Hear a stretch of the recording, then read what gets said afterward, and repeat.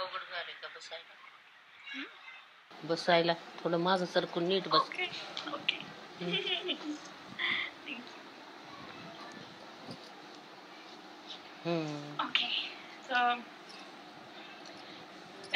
तुमचं नाव सांगा. माझं नाव चांगुणाबाई हं? पूर्ण? नाव. चांगुणाबाई नारायणराव गोनारकर. आणि जेव्हा पल- अं, जेव्हा तुम्ही लहान होता. तेव्हा तुम्हाला पक्ष महत्वाचं वाटलं का? पक्ष राजकारण. हं, लहान असता. तुम्हाला पक्ष आणि चळवळ चळवळ चळवळ माहीत होती का लहानपणी? अं, नाही. लहान असताना कसं माहीत? लहान असताना माहीत नव्हतं ना. मी सुरू करू का? हो. मी लहान सात एक वर्षाची असन. तेव्हा डॉक्टर बाबासाहेब आंबेडकरांचे जनता पेपर खेडोपाडी येत होते. आणि माझ्यापेक्षा मोठा भाऊ किसनराव शिरशे हे ते शाळेत जाऊन थोडं थोडं वाचन करत होते. तर ते गोष्टी आमचे वडील वगैरे ऐकायचे सगळे ऐकायचे. जे महार लोक महारकी करत होते तर ते लोकांनी महारकी सोडून देण्याचं काम केलं. आणि मेलेले ढोर खात होते.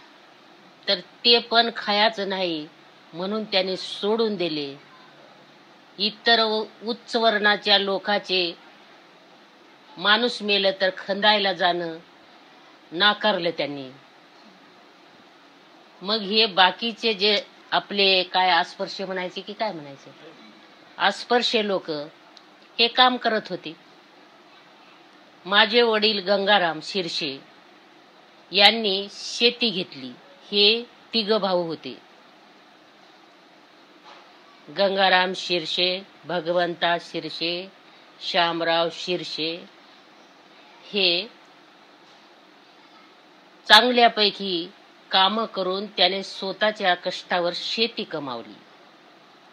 शेतीचे काम करत करत ते दोघं भगवंता आणि गंगाराम गौंडीपणाही करत होते म्हणजे वाडे बांधत होते. जोडधंदा करत होते. आणि आपला उदरनिर्वाह चांगल्या पर चांगल्यापैकी करत असताना उच्च वर्णाच्या लोकांचे काम करायला त्यांनी नाकारलं. नाकारल्याच्या नंतर उच्च वर्णाचे लोक यांच्यावर दडपण आणू लागले. दडपण आणू लागले. आणि एके दिवशी पाठील एक मेला आणि पाटलाला खंदाय जाण्यासाठी आमच्या गंगाराम शिरशे वडिलांना बोलवण्यात आलं. घरी आली आमच्या. मी सात वर्षाची होते. सकाळी सकाळी आले आणि आमचा फलाना मेलाय. खंदायला चाल आमचे वडील म्हणले मला बरं नाही मी येत नाही. तू येत नसल्यामुळे इतर लोकही येत नाहीत तुमच्या समाजाचे. आणि तू भाऊ भाऊकीला तू सांगालास आणि तू येऊ दे हलास तुझा कोणता बाबासाहेब निघालाय रे? तुझा बाबासाहेब हेच सांगलाय का रे? म्हणून आमच्या वडिलाला ओढले घराच्या बाहेर काढलं. आणि येळूच्या काठीनं दोन काठ्या त्याने मारल्या. मी चिरचिर चिरचिर चिरकत असं पाय खुर खुर्रू अशी रडत होते. सात वर्षाची होती. अजूनही मला ते आठवते ते हे होते. आमचे वडील हात करून उभा राहिले. आमच्या दारात आड आहे. आडावर खूप माणसं होती. पाणी शेंदायला. खूप होते परंतु त्याच्यातलं एकही माणूस म्हणत नव्हता की हे तुम्ही का मारता? का असं करता? कारण का म्हणत नव्हते? तर त्यांनाही मारण्यात येत होतं. त्यालाही मारायचं म्हणलं त्याला बोललं त्याला. मारत होते. म्हणून ते लोक काहीच म्हणत नव्हते. माझी एक चुलती गिरजाबाई शिरशे माझी आई जळबूबाई शिरशे ह्याच दोघी त्याला धरत होत्या आणि सोडवत होत्या. आणि माझ्या मनात मात्र असा राग येत होता की हे दगड घेवावून त्या याच्यावर घाला परंतु तेवढं हे नव्हती मोठी नव्हती मी. लहान होते चिरचिर चिरकत होते. हे लहानपणाची एक गोष्ट माझ्या समरणात आहे. तर आखरीपर्यंत आमचे वडील खंदायलाही गेले नाहीत कुणाच्या मातीला गेले नाहीत. आपला आपला उदरन निर्वाह आपल्या स्वतःच्या कष्टावर मेहनतीवर करून चांगल्यापैकी ते जगली. हे लहान असतानाची गोष्ट आहे. मग माझं लग्न अकरा बारा वर्षाला माझं लग्न ठरलं. माझे साहेब एन व्ही गोनारकर हे तहसीलमध्ये क्लर्क म्हणून लागले. मग त्यांना मला देण्यात आलं आमचं लग्न झालं. माझ्या मामाचाच मुलगा आहे चुलत मामाचा मुलगा आहे. माझ्या मायचं माहेर गोनार.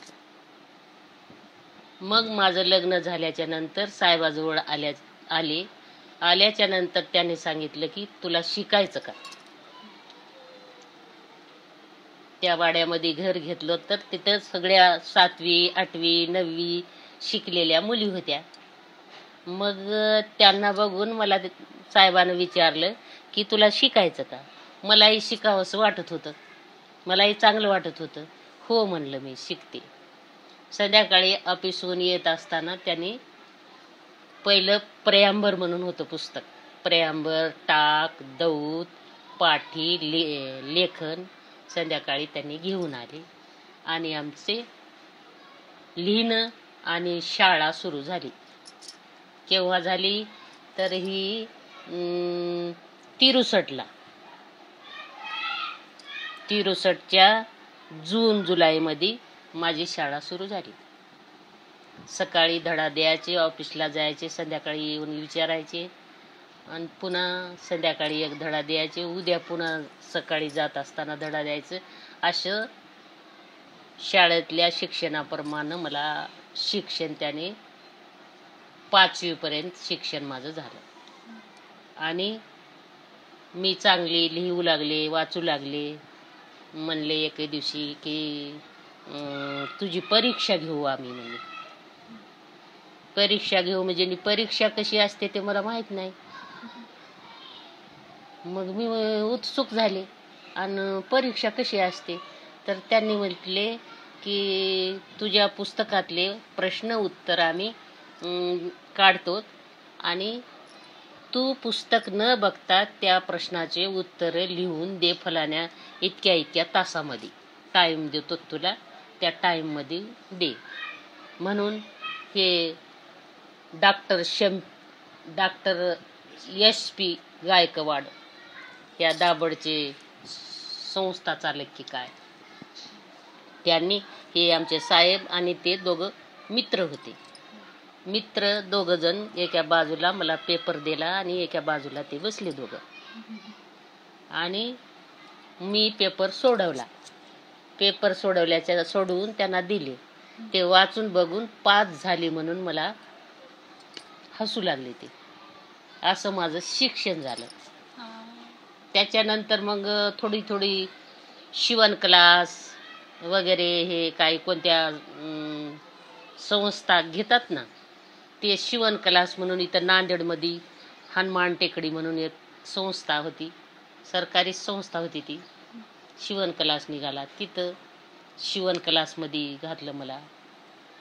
तर मी तिथं चौथीचं सर्टिफिकेट असेल तर तिथं घेत होते. चौथीचं सर्टिफिकेट नसेल तर नको म्हणत होते. माझ्या मैत्रिणी दोघी तिघी चालल्या तर मी म्हटलं मला लिहिता वाचता येते पण चौथीचं सर्टिफिकेट मला नाही. चला तर चला बघून येऊत म्हणून मला सोबत घेऊन गेल्या. तिथं मुली होत्या पुष्कळ. मी त्या शिक्षिकेला म्हटलं की बाई मला लिहिता येते वाचता येते गणित येते सगळं येते पण मला सर्टिफिकेट नाही. त्या बाईनं मला त्या कागदावर भागाकार गुणाकार बेरीज वजाबाकी असे दोन दोन गणित मला कागदावर आणून करून दाखव म्हणून. मी करून दाखवल्यानं त्यांनी काय? मला हे करून घेतलं सामील करून घेतलं. आणि ते बाई म्हणाल्या की तू आता अर्ज मला देऊन टाक. तुला मी मी घेतो. मी तिथंच बसून अर्ज लिहून दिलं. आणि ते शिवण क्लास आम्ही सहा महिने सवा शिवण क्लासमध्ये शिकलोत आणि चांगल्यापैकी मार्क घेऊन आम्ही पास झालो म्हणजे असं छोटे मोठे छोटे मोठे कामं करत होतो. हे लहानपणी म्हणजे नि लेकरं होण्याच्या अगोदरचा इतिहास आहे. मग आता मुलं झाली. मुलं झाले तर मुलांना गाणे म्हणत त्यांना रंजवीत गंजवीत म्हणजे नि कविता हे पाठ करायचं आपणही शिकायचं त्यांच्याबरोबर. आपणही त्याचे पुस्तकं वाचायचे असं करत होतो.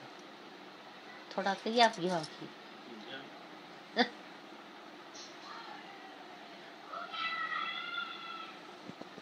आता ह्याच्यात उमटली का?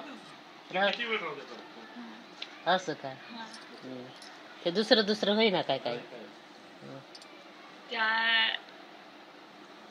त्या कवितामध्ये गाण अं, गाण्यामध्ये काही अं, बाबासाहेब आंबेडकर होते का? हम्म. काही गाणं कविता बाबासाहेबबद्दल होते का? हम्म हम्म हम्म हम्म. हम्म. बाबासाहेबाचे गाणी म्हणायचे. हम्म. एक उदाहरण देऊ शकता का? गाणं? हा त्यावेळेला हम्म. त्यावेळेच्या बाया गाणं म्हणत होत्या. पाळणे म्हणत होत्या. असे गाणे त्या बाळाला रंजवायला हं? पाळणा असं का? कुठवर म्हणावं किती कडे तीन कडे सन अठराशे एक्क्याण्णव सालात तारीख चौदा एप्रिल महिन्यात. आनंद झाला महू गावात. गुड्या तोरणे उभारतात जय भीम जय भीम जय. सोमवार पहा दिवस आला. भीमाबाईचा गर्भ वाढला. धन्य रामजीने नवस केला. भीम नावाने देव जन्मला जय भीम जय भीम जय चंद्रासारखा वाढला बाळ रामजीच्या घरी पडे उजड. दलित कुळी खेळती खेळ वैरी दुस्मान मारू चंडाळ. जय भीम जय भीम जय बामणाची मस्ती ऐका ग बाई माणसा गेलं. माणसाचा त्यांना विंटाळ होई. शाळेत भीम बाहेर राही. जय भीम जय भीम जय शाळेत भीम बाहेर राही. जय भीम जय भीम जय साताऱ्याला थोडे शिक्षण झाले. मुंबईच्या मग शाळेत गेले. मन लावूनी अभ्यास चाले. सोळाव्या वर्षी मॅट्रिक झाले. जय भीम जय भीम जय सोळाव्या वर्षी मॅट्रिक झाले. जय भीम जय भीम जय धन्य धन्य तुम्ही गायकवाड राजा. वेल मांडवा जाओ तुझा. मदत केली दलित काजा. दूरदेशी भीम धाडूनी माझा. जय भीम जय भीम जय दूरदेशी भीम धाडूनी माझा जय भीम जय भीम जय आता पुढे चांगलं आहे पण आता माझ्याकडे हात पाडले. आहेत. लिहून आहेत पुस्तकात दुसरं काय आता? भीमाचा थाट ते नाही. तु- तुम्ही लहानपणी सुरुवातीच्या काय? जगी थोर थोर माझ्या भीमाची या गसायानो गाऊ मंगल आरती. आरतीत दिवा लावूनी व वाळू भीमाच्या चरणी. शृंगार नवा लेऊनी साजरी जयंती करुनी जागवू भारती. या गसयानो गाऊ मंगल आरती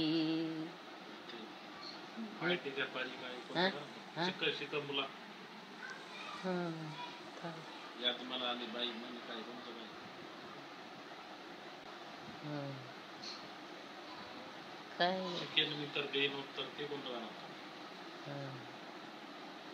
शिकेन मी तर देईन उत्तर उच्च वर्णाच्या घमेंडीला. काय काय करताय गाणं?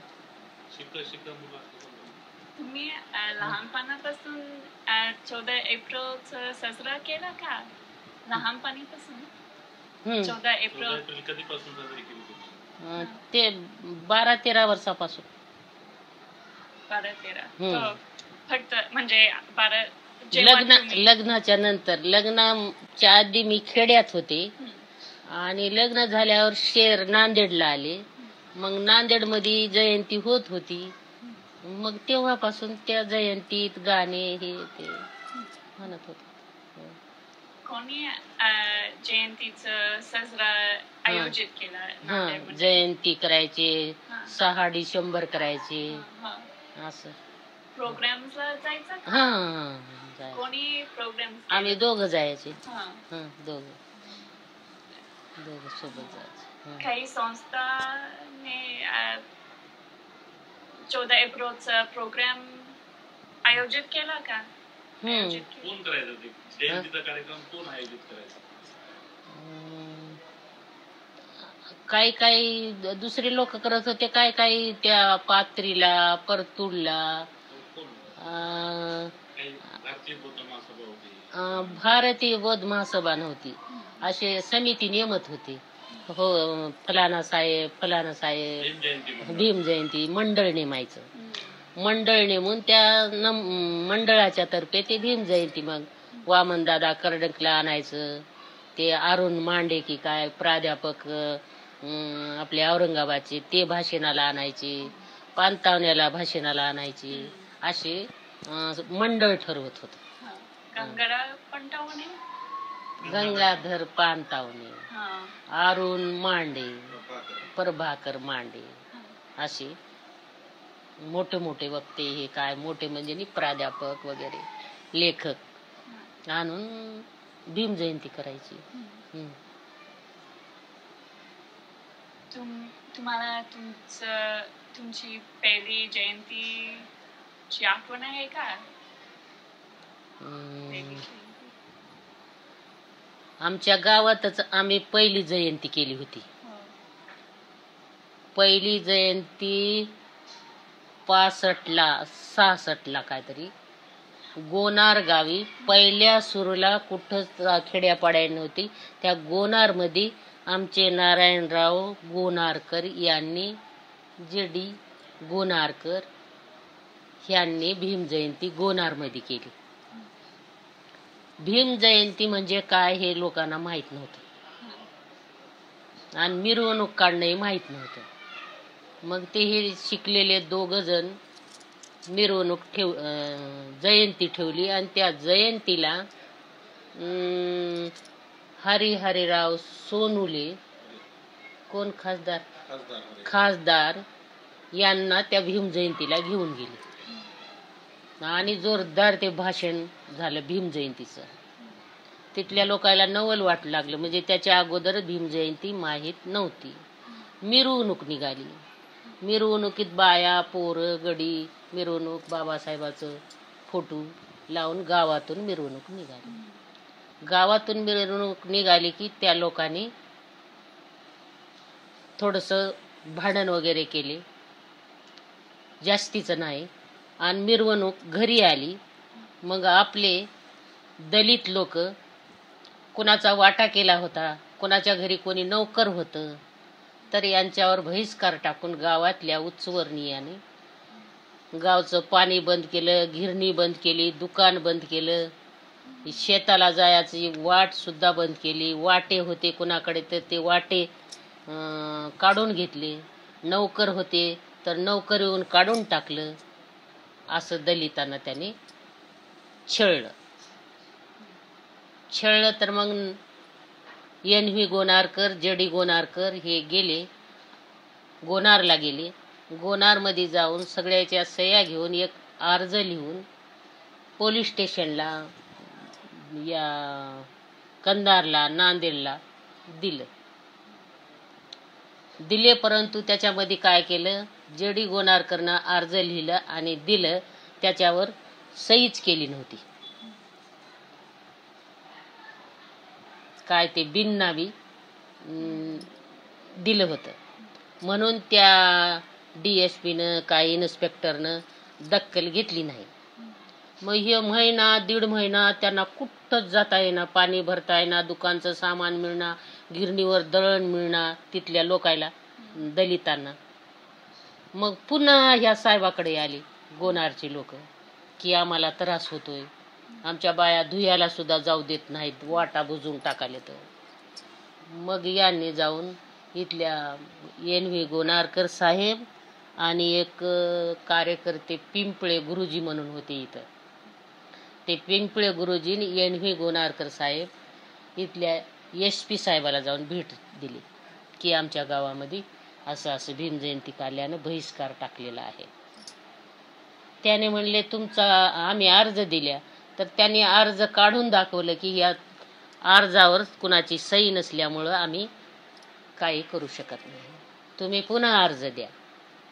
मग इथून नांदेडहून गोनारला जाऊन सगळ्या माणसाच्या सह्या घेऊन अर्ज लिहून पुन्हा डबल अर्ज दिलं.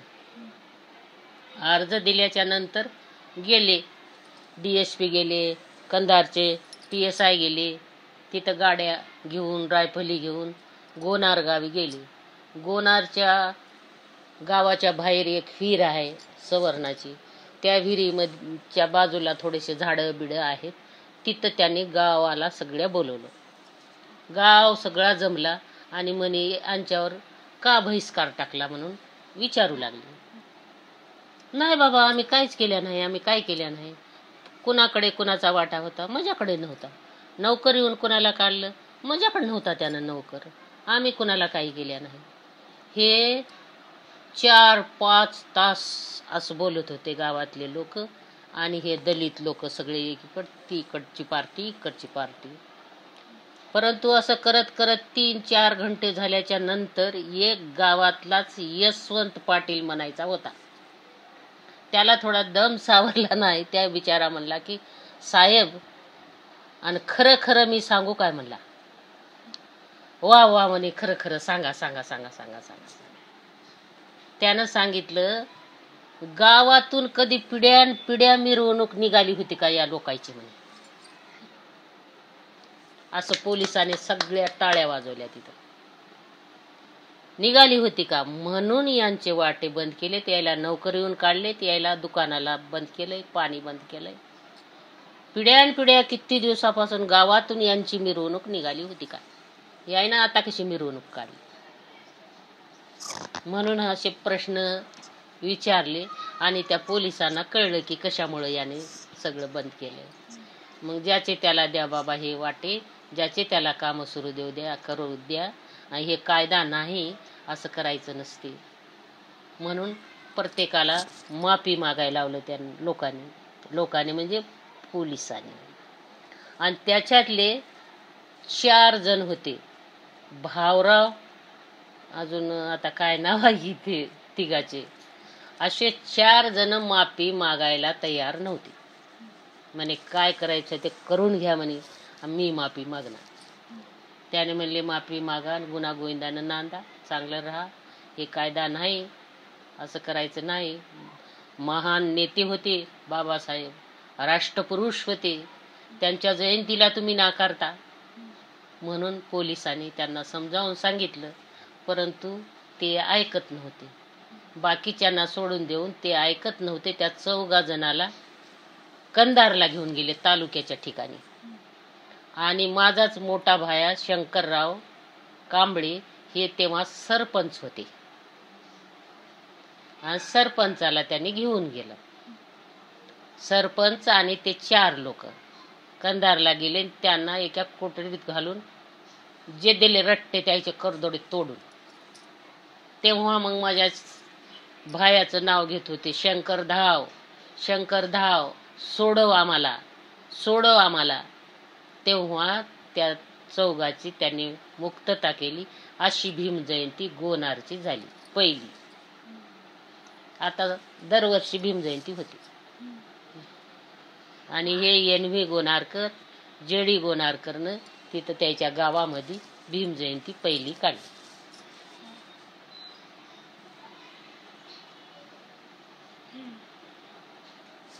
थांबतो की थोडं आता? सांगायला रात्रंदिवस सांगते मला कळणार बरं आहे की हो अजून हा? अजून आहे बरं आहे हा, ब- खूप हा?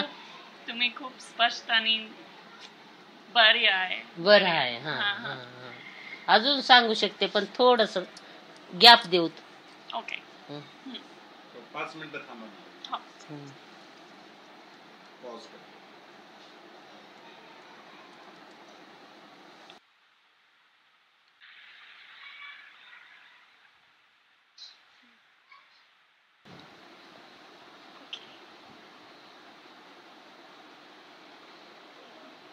Um, तो तुम्ही तुमचा पहिला मोर्चा केव्हा झाला? हं? तुमचा पहिला मोर्चा. मोठा. मोर्चा. मोर्चा. हम्म. आणि गोनारचा हं? की? म्हणजे तुम्ही केव्हा पहिल्यांदा एक मोर्चा केला? पहिल्यांदा चौसष्टला नांदेडमध्ये.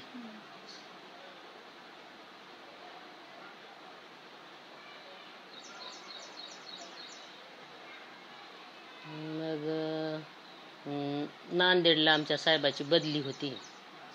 मग इथून एकोणसत् एकोणसत्तरला भोकर तालुका बदली झाली त्यांची. मग आम्ही भोकरला गेलोत भोकरला गेलो तर मी दुसऱ्यांदा बाळातपण करण्यासाठी सोमठाणला गेले माझ्या माहेरी. आणि एकोणसत्तरला खूप पाऊस पडला होता. खूप म्हणजे खूप हे नाल्या नदी हे पूल तुटून गेले होते. गाड्या बंद होत्या तीन दिवस. आणि त्याच पावसात आमच्या साहेबाची बदली झाली भोकरला. तिथं गेलं तर तिथं आपल्या दलित वस्तीमध्ये एकही घर कोरडं नको हे असं चांगलं. सगळे गरिबाचे घर दलिताचे नुसती वल फुटलेले घर राहण्यासारखं लायक कोणतंच नको.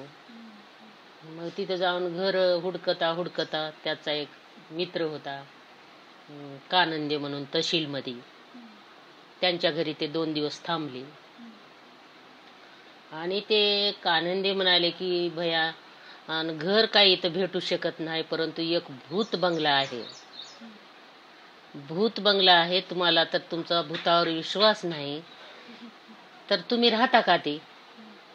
तर एन व्ही गोनारकर साहेब म्हणाले की हो मला दाखवा तर सई. तिथं गेलं तर भल्ले मोठे एका मागं एक तीन वाडे.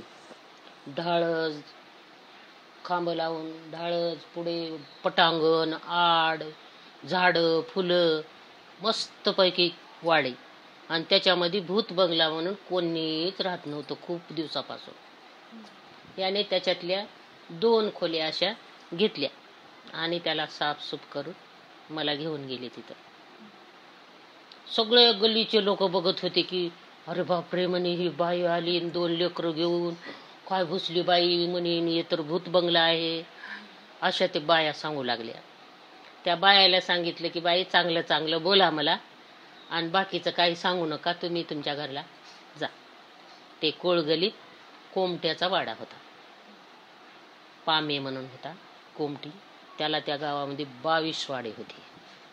श्रीमंत माणूस होता तो. काही दिवस राहिल्याच्या नंतर आम्ही एक गण आंधसरदेवर एक लेख लिहिला. म्हणजे आम्ही दोघांनाही मिळून लिहिला. ते लिहि मला जास्त लिहिता येईना तर ते लिहिता लिहित गेले तर.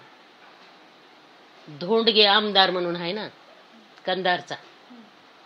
त्याचा जय क्रांती म्हणून एक पेपर आहे. जय क्रांतीला आम्ही एक पत्र लिहिलं की गणपती शाळेत ऑफिसमध्ये बसवणं बरोबर नाही मुलांचे दहा अकरा दिवस अभ्यास बुडतो. मुलं अभ्यास करत नाहीत ना शाळेमध्ये गणपती बसवल्यानं.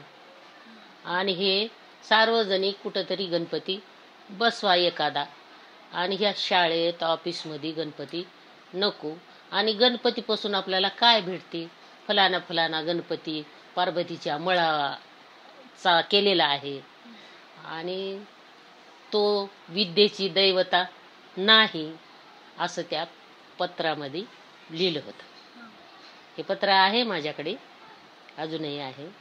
माझंही आहे त्या तेव्हाचं पत्रही आहे. हे त्या जय क्रांतीमध्ये छापून आलं. छापून आलं की मला थोड्या वेळानं पोरं आले कॉलेजचे आणि म्हणे काकू आणि तुमचं पत्र त्या याच्यात आलंय जय क्रांतीत आलंय जय क्रांतीत छापून आले छापून आले. मला या ते आनंद झाला माझं लिखाण छापून आलं.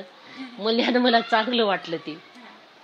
थोड्या वेळानं बातम्या वेगळ्या आल्या की म्हणे आता हे पेटलं रान म्हणे त्या बाईला असं करणार तसं करणार मारणार पुरणार जाळणार अशा बातम्या आल्या. आणि संध्याकाळी त्या भोकरमध्ये मारुतीचं मंदिर मोठं आहे. त्या मारुतीच्या मंदिरामध्ये एक सभा भरली. सभा भरली आणि त्या सभेचे गरुड नावाचे आर्य समाजाचे अध्यक्ष केलं त्याला. गरुड नावाचे एक आर्य समाजाचा कार्यकर्ता होता. त्याला अध्यक्ष केलं आणि त्याच्या अध्यक्षतेखाली सभा झाली. सभा झाली की ते काही लोक आमच्या काडीचाही देव असला तर नाव ठेवणारे ते कोण? काय करणार? असं करणार? भयंकर ते भाषेनं के केली तिथं. केल्याच्यानंतर तिथंच त्या भाषणामध्ये ते गरुड साहेब आणि कुरुडे म्हणून होता. कुरुडे एक ऑफिसमधला एक साहेब होता. त्यानं म्हणला त्या बाईला नाव कशाला ठेवता? तुमच्या पार्वतीच्या मळापासूनच झालेला आहे गणपती. त्याच्यावरही काट्या दगड धोंडे घेऊन उठले ते. आणि ह्या गरुड अध्यक्षावरही उठले. हे जबरदस्त माणूस होता ते गरुड आर्य समाजाचा. कट्टर राहतात ते. ते सभा बारगळली. बारगळली की सगळे लोक पांगले जिकडं तिकडं. मग यांच्या ऑफिसमधला एक माणूस होता ते आमच्या वाड्यामध्ये आला आणि म्हणला बाईच्या जीवाला धोका आहे आणि बाईला सांभाळा तुम्ही आता. आणि फारच गाव हे पेटलाय भोकर पूरक आणि तिच्या जीवाला धोका आहे. तुम्ही सांभाळून राहा म्हणून असं सांगून त्यानं थोडंसं वाड्याच्या बाहेर गेला की आमच्या वाड्यावर दगड फेक झाली. खूप दगड पडली आमच्या घरावर.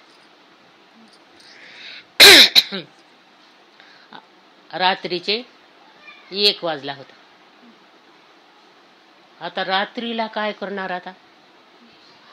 मग याने पोलिसाला आम्ही एक अर्ज लिहिला की माझ्या जीवाला धोका आहे आणि मला संरक्षण पाहिजे म्हणून अर्ज लिहिलं. पण अर्ज देयाला कोण जाणार आता? आता प्रश्न पडला. एक गुरुजी होते आमच्या शेजारी त्याचं कुटुंब. एक दुसरं एक कुटुंब होतं आणि आमचं एक असे तीन कुटुंब राहत होते त्या वाड्यामध्ये.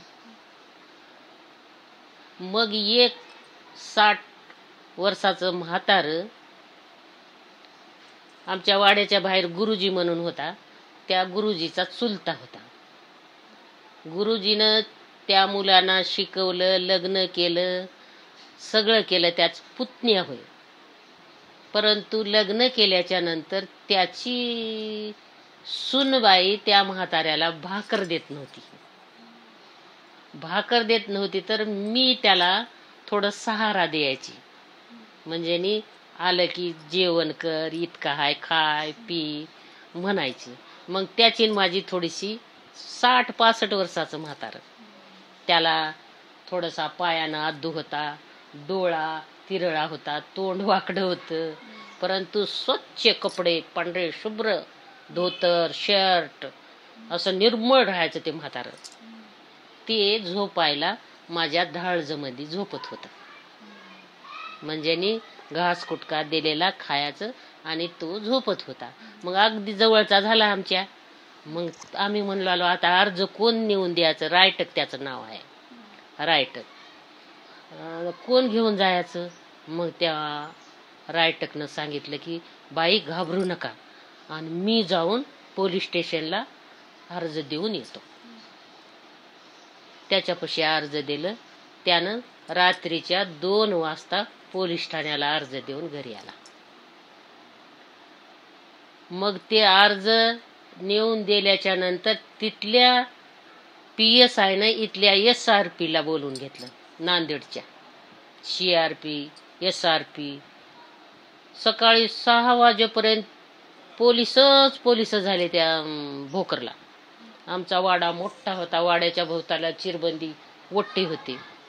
सकाळी आले की इकून पोलीस रायफली घेऊन इकून रायफली घेऊन चौकड पोलीस मला पहारा दिला त्याने आणि गाव सगळा पोलिसांनी भरला. दुसऱ्या दिवशी प पेपरला बातम्या आल्या की त्या बाईला त्या साहेबाला पुतळे करा आणि त्या याच्यामध्ये जाळा तिला मारा तिचा खून करा. म्हणून दुसऱ्या दिवशी एवढे पत्र आले लालशाहीने की खून खून खून खून असेच लिहिलेली. पत्र. कोणी शिव्या दिलेले. शिव्या खूप दिल्या होत्या काही काही दिल्या होत्या. ते खून कि खून खून म्हणल्यानं मला अवघड वाटलं नाही. जेव्हा शिव्याचे पत्र आले तेव्हा मात्र मला फार दुःख झालं. म्हणजे ते शिव्या आपल्याला सर होत नाही. तेव्हा मात्र मी रडले की त्या शिव्याला बघून. म्हणजे काही असं लिहिलं होतं. मग त्याच्यानंतर थोड्या वेळानं पी एस आय आली आमच्या घरला. बाई आणि गाव सगळा म्हणाला की तुम्ही का लिहिलं? का लिहिलं? तर मी म्हणलंय इथली अंधश्रद्धा दूर होण्यासाठी म्हणून लिहिलंय माझा उद्देश कोणाच्या भावना दुखविण्यासाठी नव्हत्या. तर मला एक अंधश्रद्धा मिटवायची होती अंधश्रद्धा दूर करायची होती म्हणून मी लिहिलं. त्याच्याबद्दल दिल दिलगिरी मागते मला होते. आणि माझा उद्देश कोणाच्या भावना दुखवण्याच्या नव्हत्या. मग बाई तुम्ही तसं लिहून द्या. ते इन्स्पेक्टर मग तसं लिहून दिलं की माझं कोणाच्या भावना दुखवण्याचं काही कारण नव्हतं परंतु अंधश्रद्धा एक मिटवण्यासाठी अंधश्रद्धा नाहीशी व्हावी हाच हेतू माझा होता.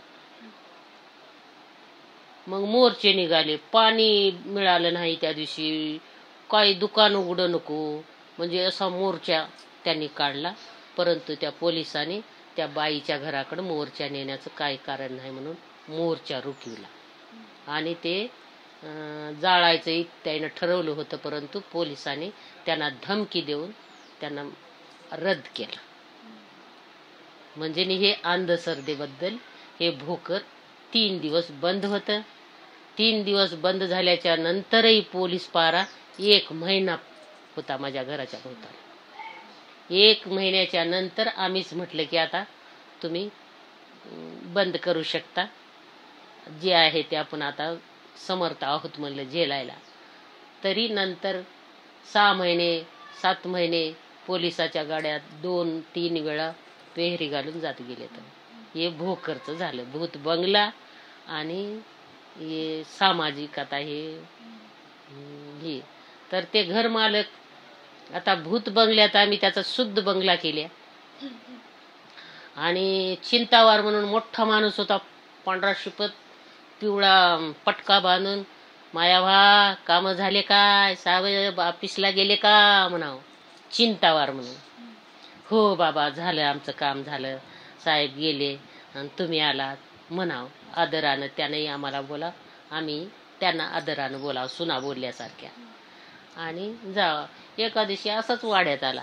म्हणला माय म्हणला आणि आता किराया वाढवा म्हणतो म्हणला. किराया थोडा वाढवा. मी जोरात बोलले त्याला. म्हणलं काय म्हणलात बाबा? म्हणले जोरात आवाज काढून भूत बंगल्याचा बुद्ध बंगला करून दिले आणि तुम्ही किराया मागता का जास्त? म्हणले. खद खत खत खत वरी तोंड करून हसला आणि म्हणला मायावा मी आता वाढविना माय. माय खरंच माझ्या भूत बंगल्याचा बुद्ध बंगला शुद्ध बंगला मला करून दिलीस. म्हणून ते अति आनंदानं त्यानं स्वागत केलं. त्यानं किराया वाढवला नाही. आता तिथं माणसं चांगले नांदतात आता त्या वाड्यामध्ये. वाड्याचा शुद्ध करून दिले त्या वाड्यात. हे भोकरचं झालं. भोकरचं मग आमची तिथून बदली परतूरला झाली. परतूरला झाली तर परतूरला आता सगळं ऑफिसच आमचं ॲग्रिकल्चर ऑफिस होतं साहेबाचं. ॲग्रिकल्चर ऑफिस अं, परतूरला उठून गेल्यानं दोनशे तीनशे लोक होते त्या ऑफिसला. आता इतक्या लोकायला एकदम घरं पाहिजेत. घरं पाहिजेत. आता घरं क तितके घरं कुठं तयार राहतात. आता प्रत्येक जण घर हे हिंडत होतं हुडकत. मग आमचे साहेब घर हुडकत होते. मग त्यांना कळालं की एक वकिलाचं घर रिकामा आहे. आणि तिथं जाऊन बघा तुम्ही.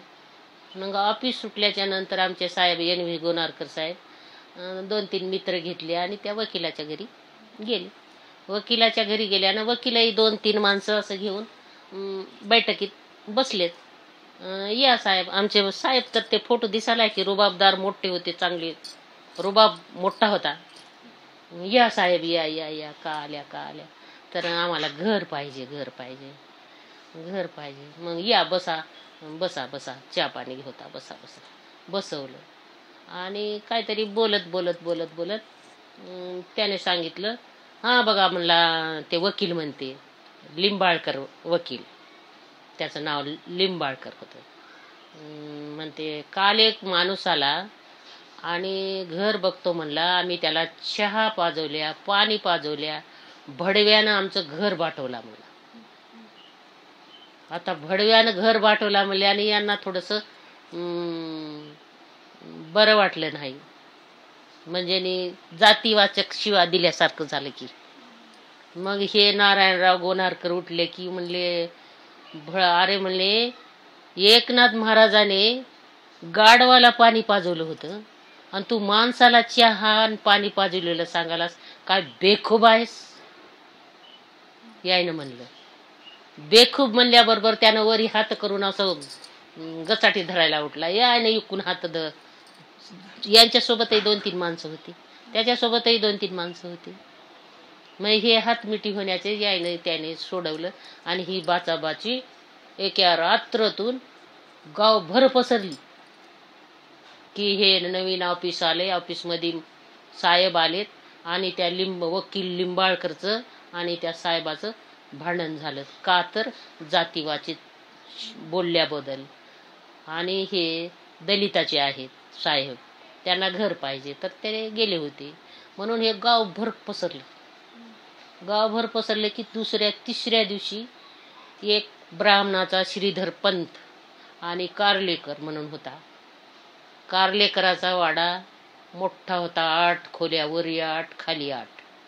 नळ लाइट संडास बाथरूम व्यवस्थितशीर ब्राह्मणाचे घर. गावामध्ये त्यांना कळालं. तेवढ्या वाड्यामध्ये एक त्या कारलेकराचा मुनीम म्हणून मराठा समाजाचा मुनीम त्या एका खोलीत राहत होता. आणि त्यांना किराई देत नव्हता आणि त्याच्यातून निघतही नव्हता. निघतही नव्हता. तर मग आता त्यांना संधी सापडली की हे मराठा हे दलित साहेब आहे. मग ते श्रीधर भट ऑफिसला गेले. गंध टोपी आणि हातात पिशवी घेऊन गोनारकर साहेब कोणते आहेत? तर हे म्हणून दुकानं दाखवलं. तिथं गेले की नमस्कार साहेब म्हणले नमस्कार साहेब तुम्हाला खोली पाहिजे का? तर हो मला तर खोली पाहिजे परंतु मी कोण आहे ते तुम्हाला माहीत आहे का? ते श्रीधर पंत म्हणाले की हो मला माहीत आहे. काय माहीत आहे? तुम्ही बुद्धाचे हाना साहेब? आमच्याकडे काय तशी जातपात नाही हो. आता कुठं राहिलं जातपात? सगळे आता समान झालो देवाचे लेकरं आहोत. आणि आमच्याकडे जातपात नाही. आणि तुम्ही आमचं घर आहे बघून घ्या. म्हणून सांगितल्यानं येत असताना ऑफिसून त्याने घर बघून आले. आणि मला सांगितलं की असं असं झालं आणि घर बघायला चाललो मी आता. बघून आलो चांगलं आहे. मी म्हटलं घ्या चाळीस रुपये किराय तीन खोल्या. तिथं जाऊन राहिल्या. तिथं जाऊन राहिल्या की मराठ्या मुनीमला हे झालं. संध्याकाळी आलं. आलं की म्हणला हां साहेब म्हणला जय भीम. आणि भीमशक्ती आणि शिवशक्ती एक झाले आता काय बघायचं आहे म्हणला की खद खद खद खद. हसलं त्यानं. मी बघतच होते. हसला की म्हणला काढा दोन रुपये म्हणला आता. पिये. दोन रुपये घेतलं ते गेलं. मुनी मराठ्याचा. मग त्यानं तीन दिवस राहिले आणि तीन दिवसाला निघून गेला त्यानं. म्हणजे त्या कारलेकराचं आणि त्या श्रीधर पंताचं काम फत्ते झालं. म्हणजे आम्ही किरायानं राहिल्या आणि त्यांना फायदा झाला. हं?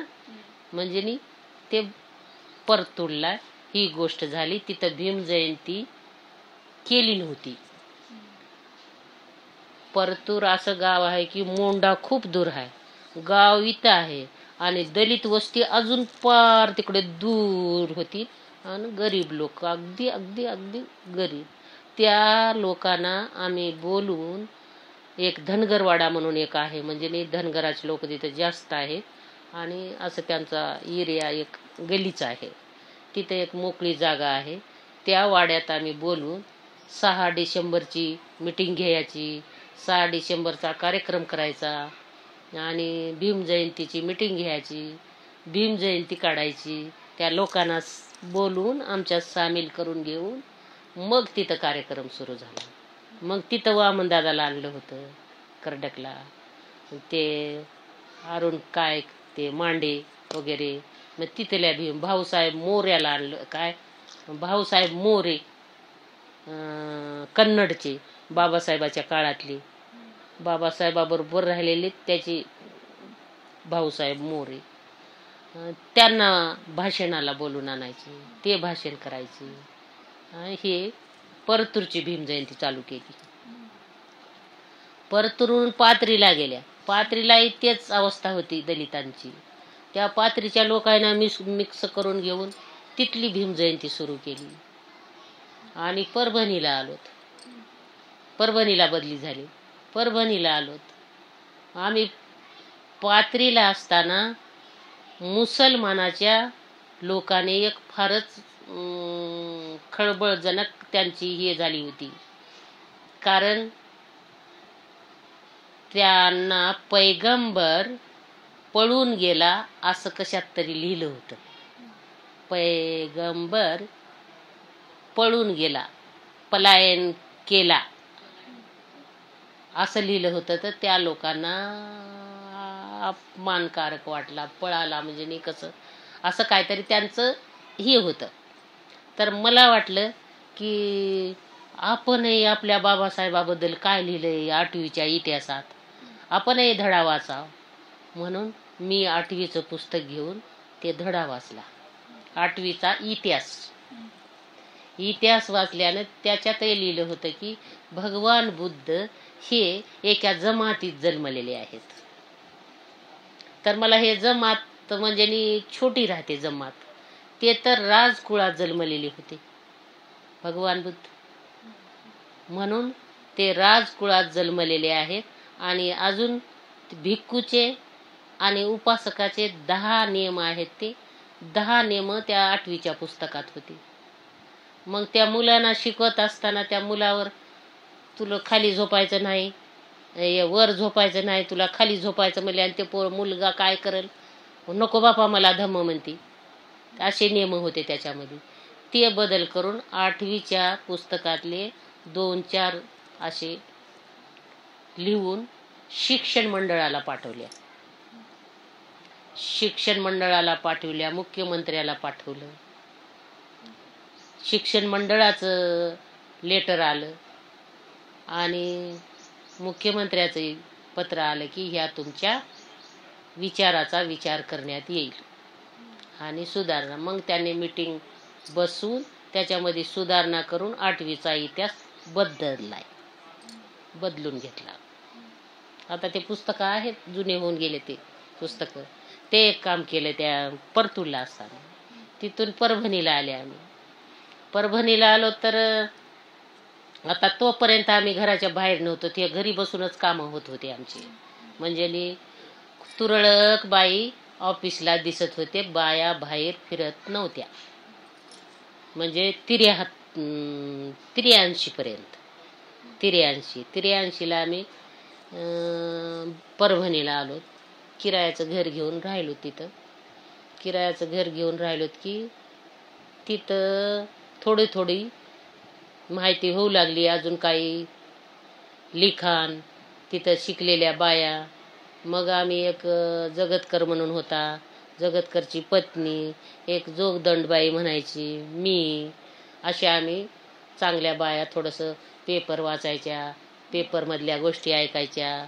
नाग गोऱ्याचं पेपरला यायचं मग नाग गोरे त्याचे लेख वाचायचे. पेपर वाचायचा. अशा गप्पा आम्ही दुपारच्याला मारत होतो. मग तिथं बाबासाहेबाचं बुद्ध आणि त्यांचा धम्म हे वाचण्याला घेऊत का आपण? त्याच्या आधी कोणीही वाचलं नव्हतं. नांदेडमध्ये नाही परभणीत नाही कोणीही कुठेही बाबासाहेबाचं पुस्तक बुद्ध आणि त्यांचा धम्म या ग्रंथाचं वाचन कोणी असं सामाजिक याच्यात केलं नव्हतं. तिथं आम्ही त्या गलीमध्ये ग्रंथ आषाढ महिन्यात या पौर्णिमेला आषाढच्या पौर्णिमेपासून ते तीन महिने वाचन सुरू ठेवलं. सुरू ठेवलं मग तिथं एक शिक्षक होते त्या शिक्षक वाचत होते. आणि सगळे महिला पुरुष आम्ही संध्याकाळच्याला आठ वाजता जमून ऐकत होतो. असे पंधरा दिवस गेले. पंधरा दिवस गेले की त्या गुरुजी थोडेसे आजारी झाले. आजारी झाल्याच्यानंतर त्या लोकांनी विचार केला तिथला की म्हणे आता हे ग्रंथ कोण वाचणार? वाचायसाठी माणूस पवित्र पाहिजे. चांगला पाहिजे शिलवान पाहिजे असं काही त्यांच्यामध्ये चर्चा झाली. झाल्यानं गोनारकर साहेबाकडे ते आले. आणि म्हणे ते गुरुजी थोडे अं, प्रकृती ठीक होईपर्यंत गोनारकर साहेब तुम्ही वाचन करा. मग आमचे साहेब म्हणाले बाबा माझ्यानं तर काही वाचणं होईना परंतु तुम्ही तुम्हाला एक मी माणूस देतो आणि त्या माणसाला घेऊन जातो मी. पहिल्यांदा मी घराच्या बाहेर निघणं म्हणजे. मग कोणतं माणूस आहे? तर हिला घेऊन जा राजाच्या आईला घेऊन जा. हे राजा हे राजेंद्र. राजाची आई म्हणत गेलेत मला ते. हे राजाच्या आईला घेऊन जातो मी म्हणून. असं का? मग आता मी कुठं माणसात बसलेली नव्हते जास्त घराच्या बाहेर हिंडलेली नव्हते पण माझं वाचन सुरू होतं. घरच्या घरी वाचत गेले. मग संध्याकाळी गेले आणि वाचायला बसले. वाचले संध्याकाळी. मग दुसऱ्या दिवशी अजून थोडे जास्तीचे आले बाई वाचाले. त्या काळामध्ये बाई नवल होती. आता खूप झाल्यात बाया.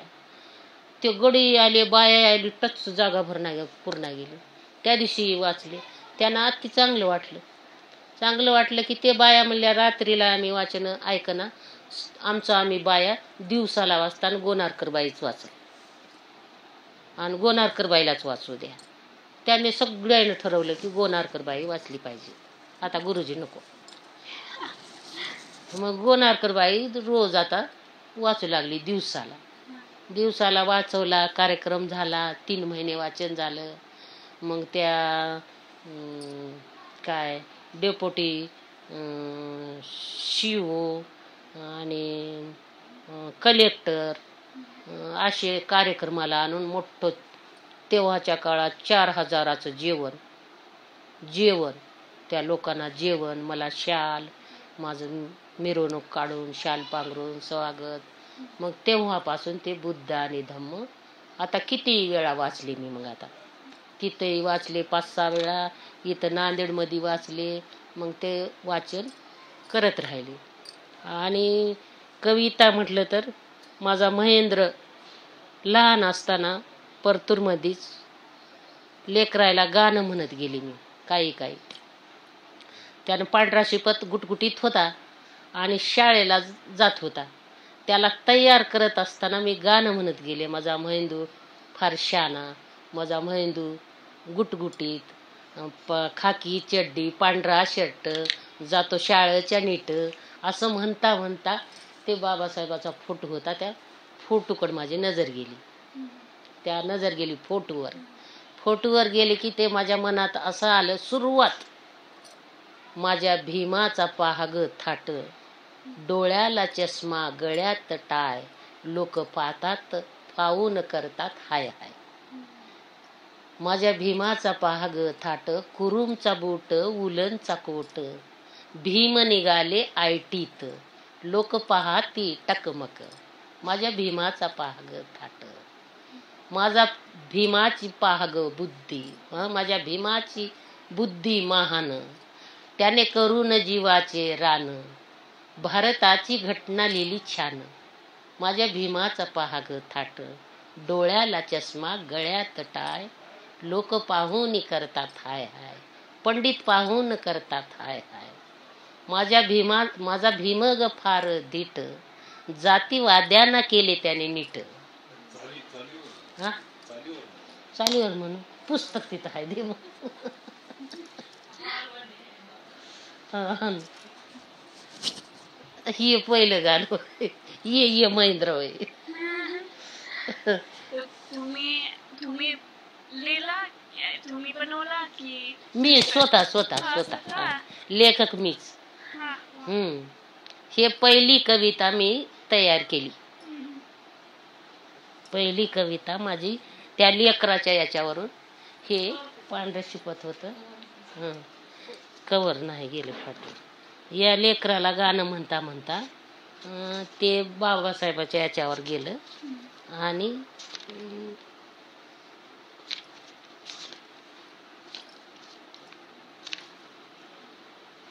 हे. माझ्या भीमाचा पहाग थाट डोळ्याला चष्मा गळ्यात टाय. लोक पाहुनी करतात हाय हाय. लोक पाहुनी करतात हाय हाय. माझ्या भीमाचा पहाग थाट कुरुमचा बूट उलनचा कोट.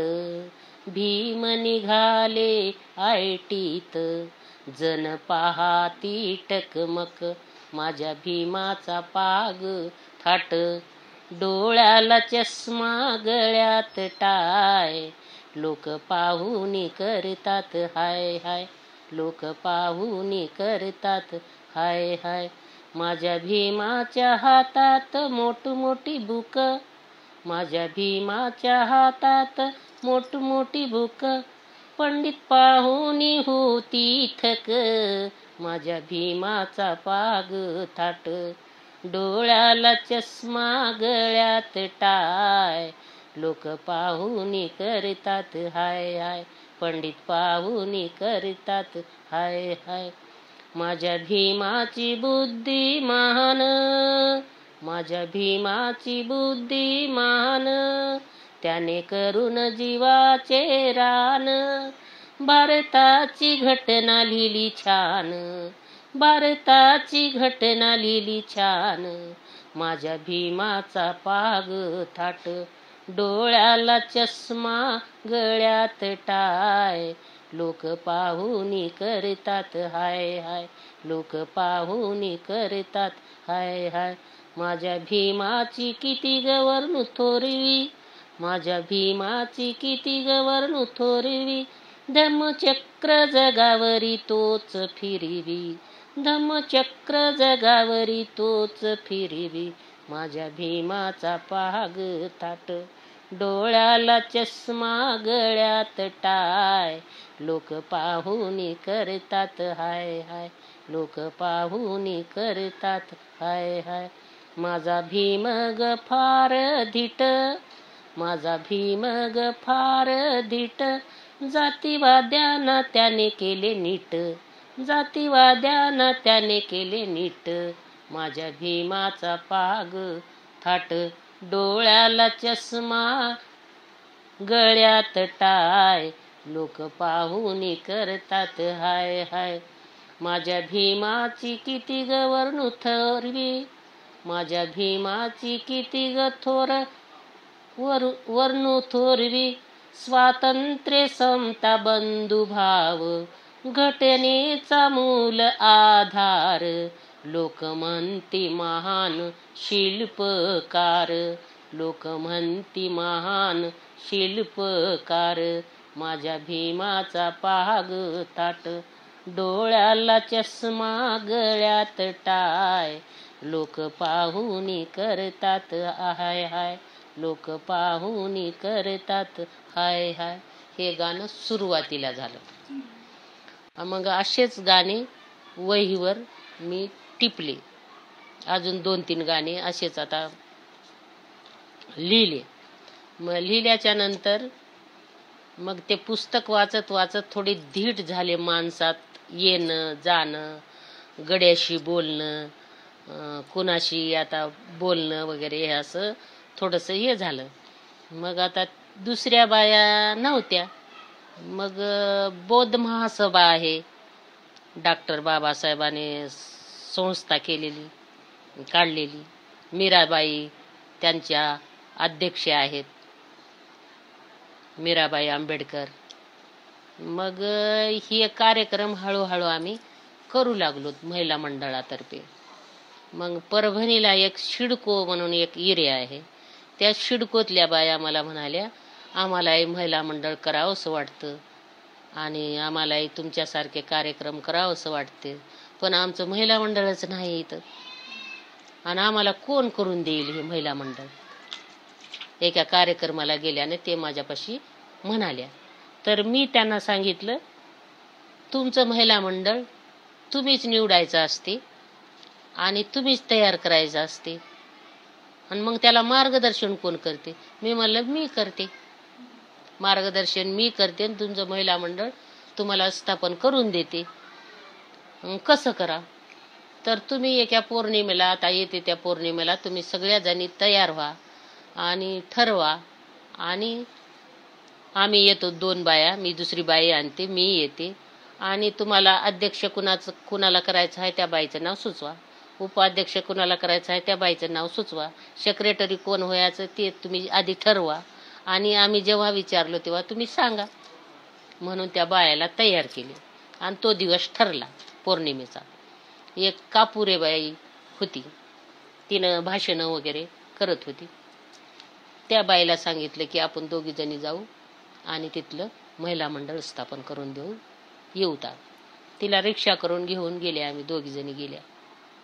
आणि तिथला कार्यक्रम करून महिला मंडळ स्थापन केली. काय त्या महिला मंडळाचं नाव आता त्या कागदावर असेल. तिथं अध्यक्ष कागदे कागदेबाई अध्यक्ष काय ते साखरे वगैरे भरणे होत्या ते बाया. त्यांचं महिला मंडळ स्थापन केले.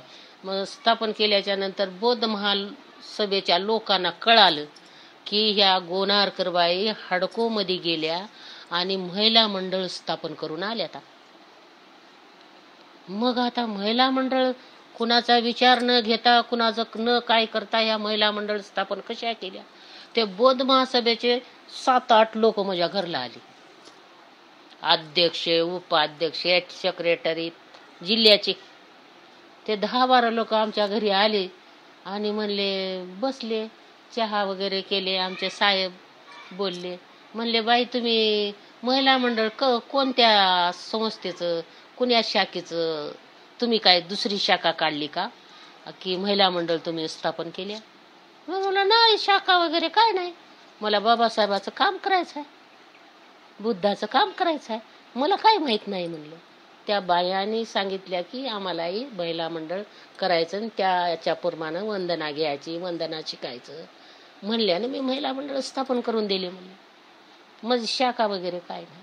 मग तुम्ही आमच्या बौद्ध महासभेत या. मला काय नको मला पद वगैरे काय नको. नाही नाही तुम्हाला अध्यक्ष करता जिल्हा अध्यक्ष करता तुम्हाला सेक्रेटरी करता. असं म्हणता म्हणता मग मी म्हणलं मला नको पद नको. मी तसंच करते.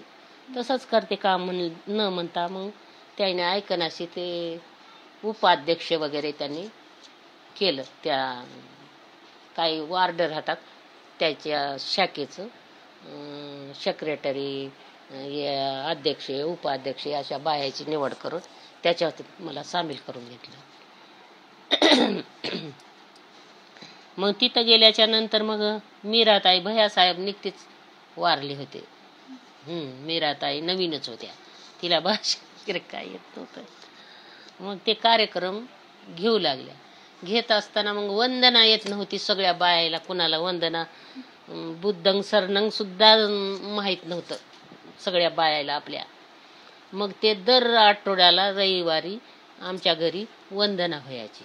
म्हणजे ते बाया यायच्या इकडच्या पासा यायच्या तिकडच्या पासा यायच्या असं आमच्या परभणीला युसुफ कॉलनीत राहत होत्या तिथं आमच्या घरात बाया यायच्या. मग म्हणता म्हणता आता ते वंदना घेतलं. वंदना झाली की आता एक एका बायला वाटलं गाणं म्हणा मग ते भरणे म्हणून होता बोध महासभेचा. त्यानं मला तुम्ही गाणे म्हणत जा बाबासाहेबाचे. आता बाबासाहेबाचे गाणे कोणाला येतात? ऐक मी ते वही काढली ते थाटाची. आणि म्हणलं मी माझ्याकडे आहेत म्हणलं मी हे गाणं म्हणते आणि हे गाणं म्हणते म्हणून तिथं मी गाणं म्हणायला सुरुवात केली की भीमाचा थाट. भीमाचा थाट सुरू केलं की ते ऐकली की म्हणजे अरे म्हणले हे तर कविता आहेत. कविता होतात. आणि कविता होता अजून दुसरं एक होतं हे काय त्याच्याबरोबरीला दुसरं एक गाणं म्हणजे कविता. केली होती. शिक्षण घेतल्याविना.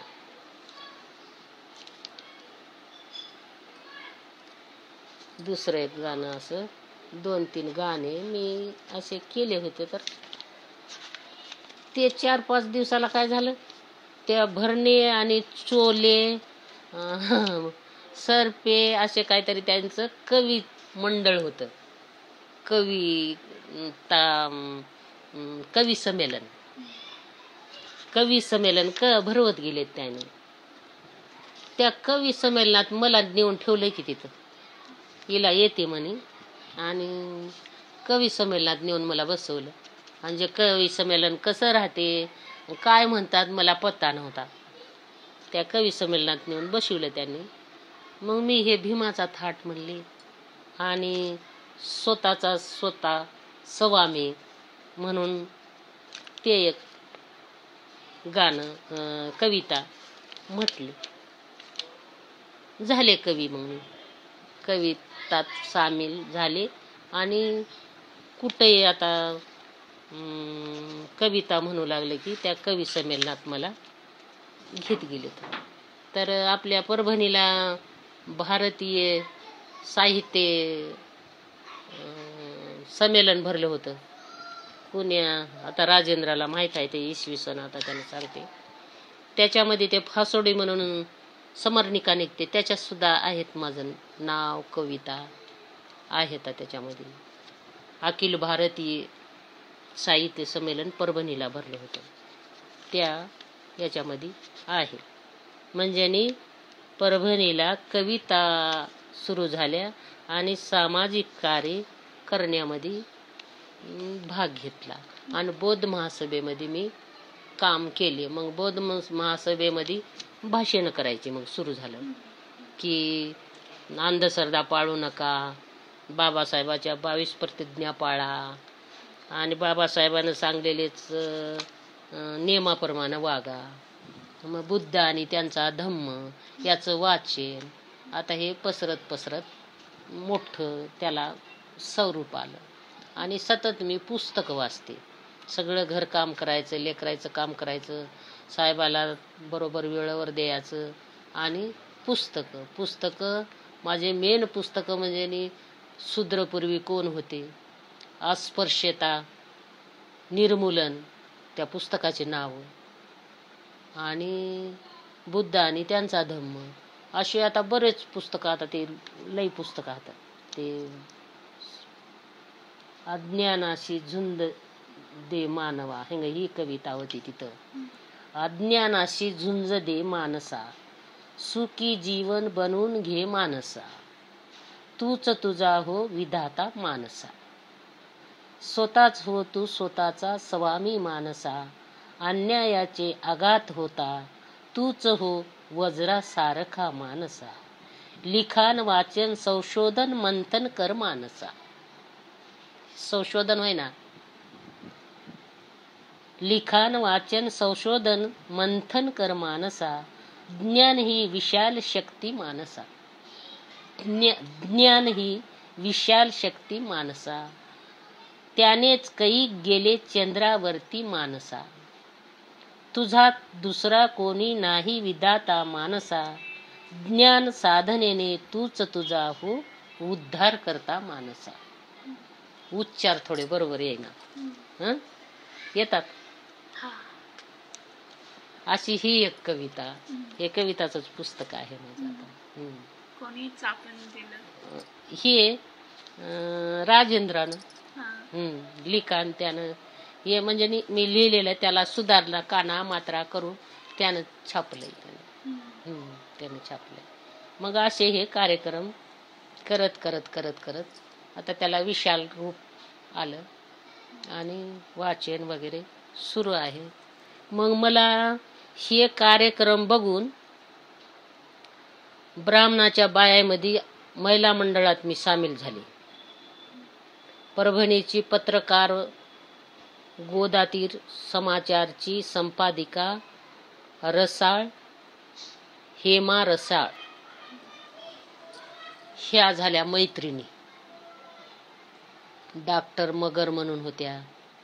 आशा मगर परभणीला.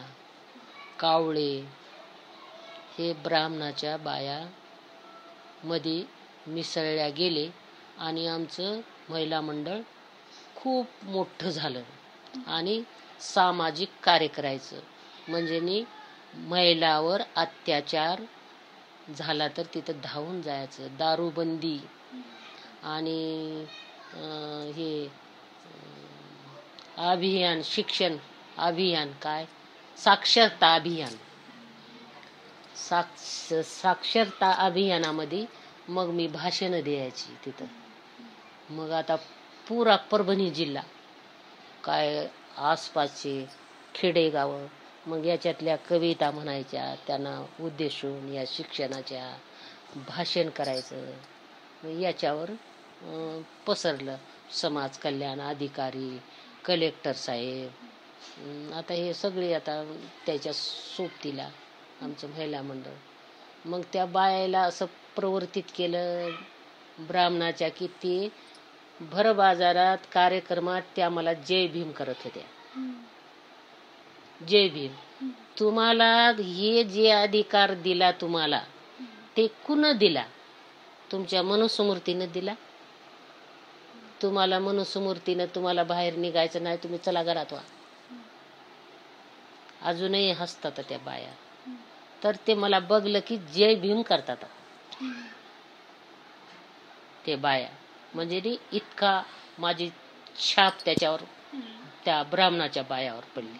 आमच्या आता इकडे तिकडे दलिताच्या काही तेवढ्याशा हे नाहीत पण त्या बायावर त्या महिला मंडळात मी सामील झाली. मग ते मोठे मोठे कार्यक्रम होत होते. त्या कार्यक्रमात झाल्याच्यानंतर मग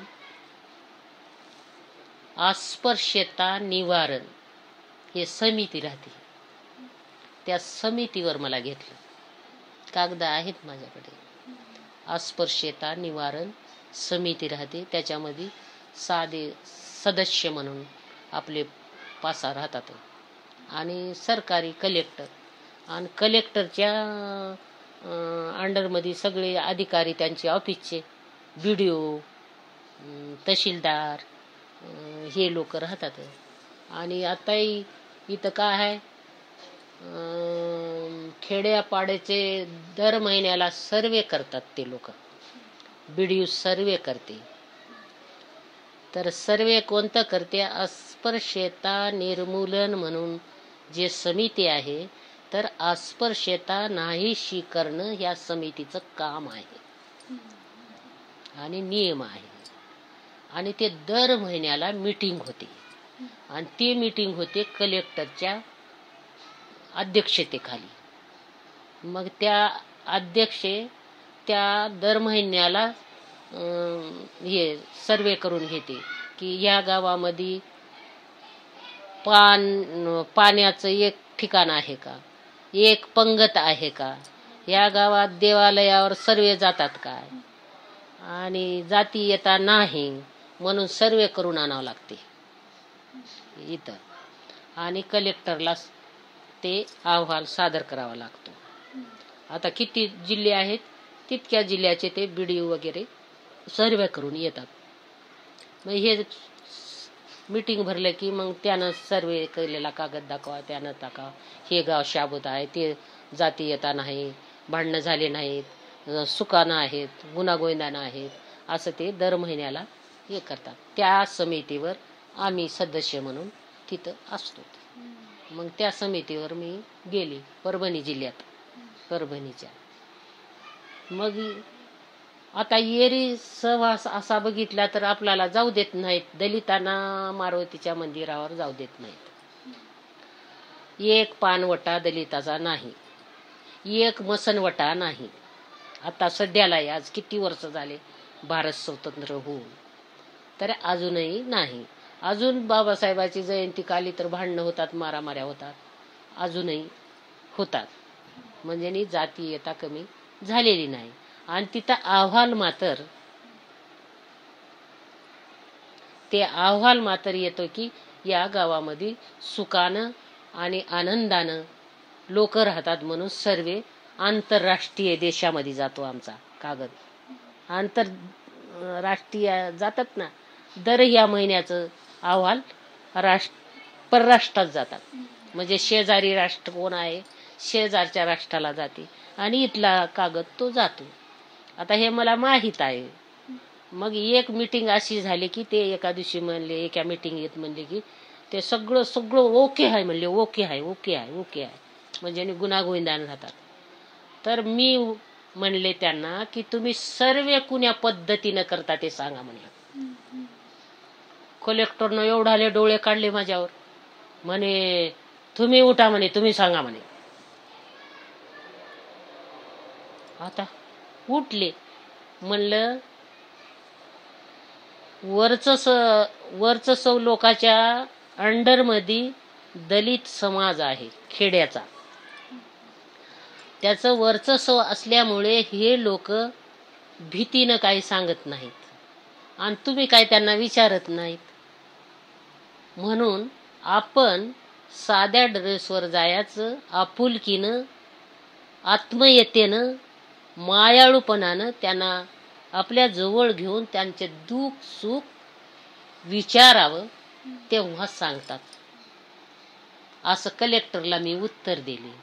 त्यांचं उत्तर आलं मला की तणाव निर्माण होते. आता लेखी आहे माझ्याकडे. ते अहवाल पुन्हा पेपरला द्यावा लागते. पेपरला देतात ते. उद्या. पुन्हा दुसऱ्या मिटिंगला आम्हाला. देतात. तणाव निर्माण होते. आता माझ्या मनात आलं तणाव निर्माण होते तर हे मल्लम पट्ट्या कशाला करता? असं माझ्या मनात आलं पण मी वरी वधू शकले नाही. आणि ह्या त्या समितीवर मी काही दिवस काम केले. अस्पृश्यता निवारण समिती. याच्यावर सुद्धा मी काम केलेले आहे. तुम्ही नामांतर आंदोलनातल्या मोर्चात जायचा का हा हा नामांतर आंदोलनातल्या मोर्चात? नामांतराच्या मोर्चात नाही गेले परंतु ते सगळं काय मी सांगू शकते सांगू शकते म्हणजे मी घरीच बसून होते परंतु आजूबाजूचे लोक काय म्हणतात आणि फक्त पेपर बंद होता गाड्या बंद होत्या फक्त रेडिओ चालू होता हम्म.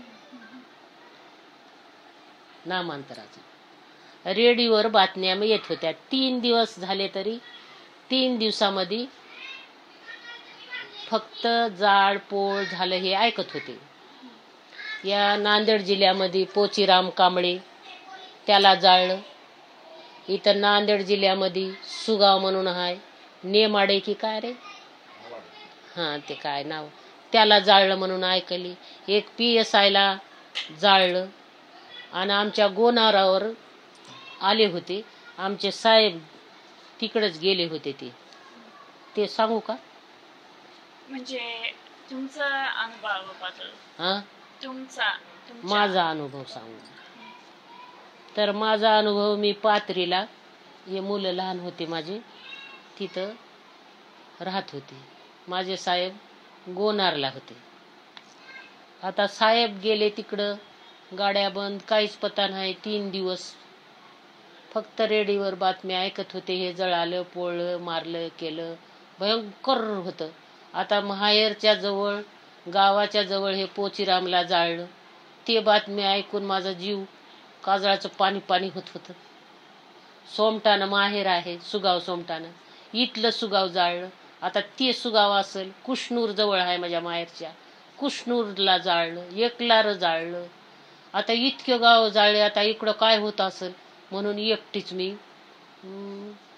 रडत बसले आणि जीवाचं पाणी पाणी होत होतं.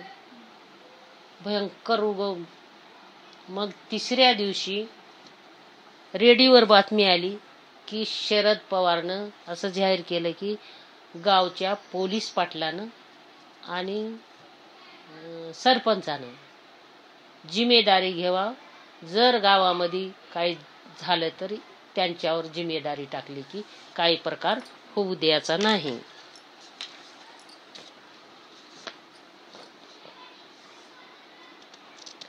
असं ऐकल्याच्या नंतर मग मला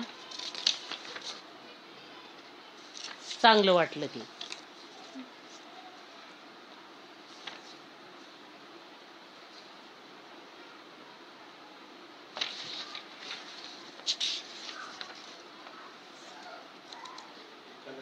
कार्यक्रमाला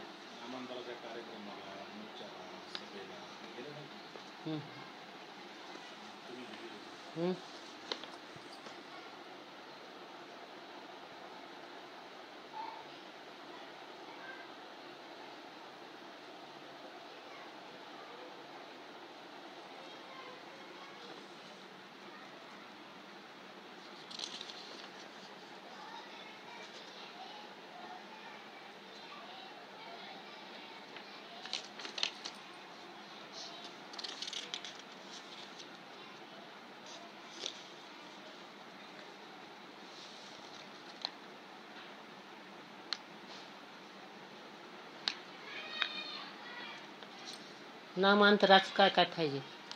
मोर्चात गेलेलं पाहिजे. सगळं. म्हणजे तुम्ही सांगितलं की जेव्हा सरकारचं घोषणा झालं. तेव्हा तुमचं नवरा. दुसऱ्या गावाला हं आणि तेव्हा तुम्हाला खूप भावना वाटलं की तिकडे काय होणार आहे? त्या जवळच्या हं. असं झालं. हं हं हं हं. तर त्यानंतर अजून काय तुमच्या तुमच्या अनुभवात काय झालं? म्हणजे नामांतर आंदोलनामुळे खूप मोर्चा काढला होता इथं नांदेडला. ते साली काढलं की त्याच्यानंतर काढलं. बरेच वेळा मोर्चे निघाले तर. त्या मोर्चात हं? त्या मोर्चात सामील झाल्या इथं नांदेडमध्ये. हे मग त्या मोर्चामध्ये सामील झालं तर दिगांबर तुफानवाला काय? दिगांबर? काय नाव वाघमारी. त्याला मारपीट केलं होतं इथं नांदेडला. त्या मोर्चामध्ये आम्ही सामील होतो. मोर्चा निघाला नांदेडमध्ये. बाबासाहेबाच्या पुतळ्यापर्यंत गेलो. त्या पुतळ्याच्या अलीकडंच त्याला दोन काठ्याने मारहाण केली त्याला दवाखान्यात नेलं. आमचा मोर्चा त्या याला बाबासाहेबाच्या पुतळ्याला जाऊन थांबला. पण ते कोण्या सालचं होय की आता नंतरचं होय. हम्म, मोर्चात सामील होतो. बाया खूप बाया पुरुष लोक. त्याच्यानंतर नाही त्या वाघमाऱ्याला जाळलं ते वाचवे की वाघमारे जाळलं. इथं एक वाघमारे मानून होता ते नामांतराच्या वेळेस त्याच संधानात त्यानं जाळून घेतलं होतं. तेव्हा मोर्चा निघाला होता त्या मोर्चात आम्ही सामील होतो.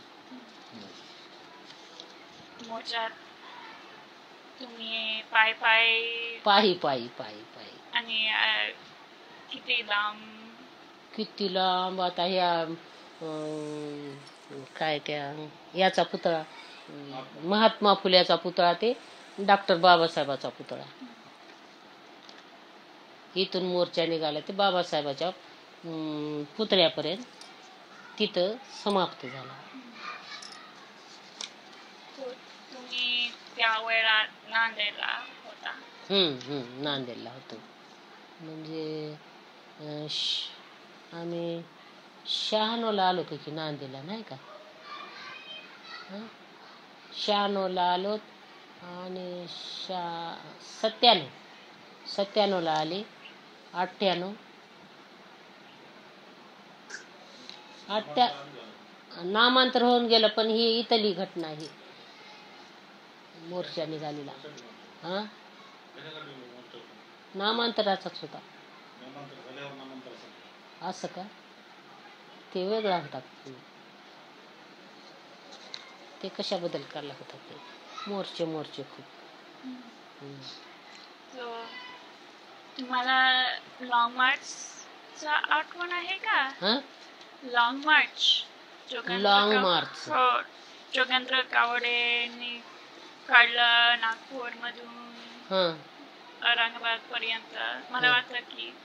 नांदेडपासून काही लाँग मार्च माहीत आहे पण तितकी काय माहिती नाही तेवढी. नाही. लाँग मार्च पहिल्या नामांतरात इथं प्रधान म्हणून होते.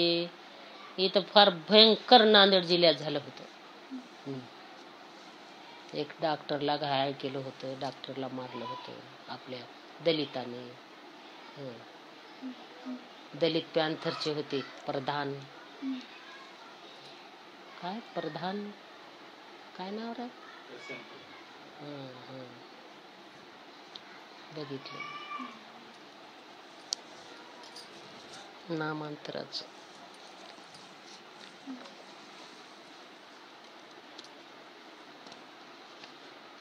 मग नामांतरात गोनारात काय झालं ते थोडं देऊ का? हं? हो माझा अनुभव सांग हं. ते जाणून गावात सांगा. हं. ते सांगा.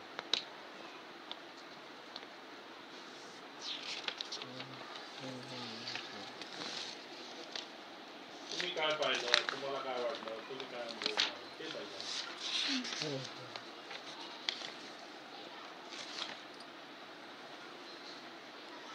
माझंच आता मला काय काय वाटलं ते आहे की इथं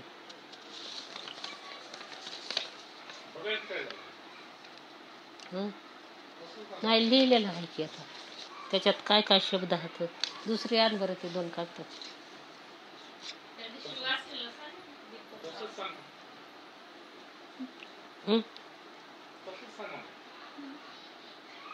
तुम्ही सांगितलं की नांदेडला खूप नामांतर आंदोलनातल्या मोर्चा मोर्चे होते. तुम्हाला वाटतं की एक अ, वर्षामध्ये तुम्ही किती नागपूर सॉरी नामांतर मोर्चा मोर्चाला केला? मोर्चाला? नामांतर नामांतराचा मोर्चा. एक दोन वेळेस केले. एक वर्षामध्ये किंवा पूर्ण वेळा अं, एक वेळ. एक वर्षामध्ये? हा वर्षामध्ये एक वेळेस. हा एक वेळ. ते ना इथं टेबला कुठं?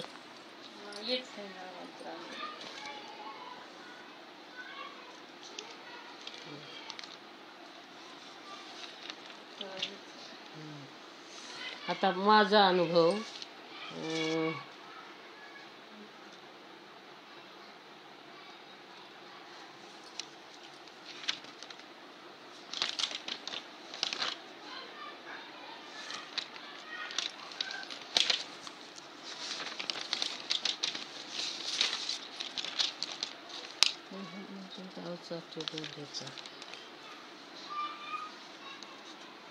सापडणार आहे.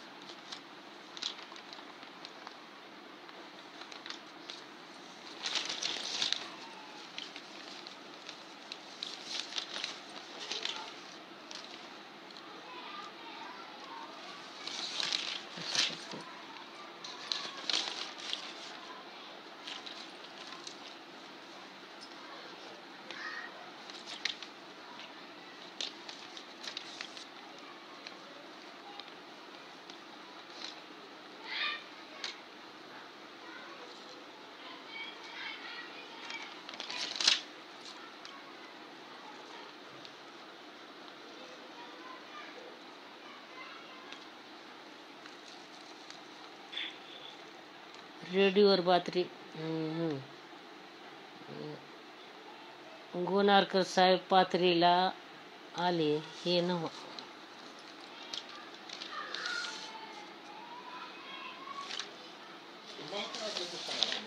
नाही ओ आता त्याच्यात डिटेल लिहिलेलं आहे की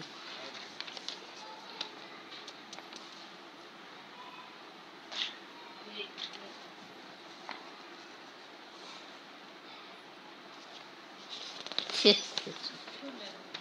थोडं ठेव तिथं.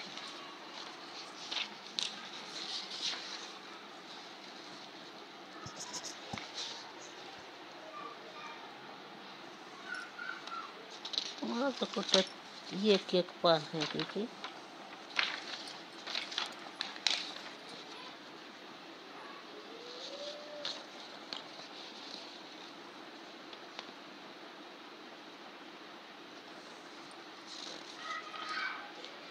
माझा अनुभव लिहिलेला आहे. शहरगावच्या गोंडाला.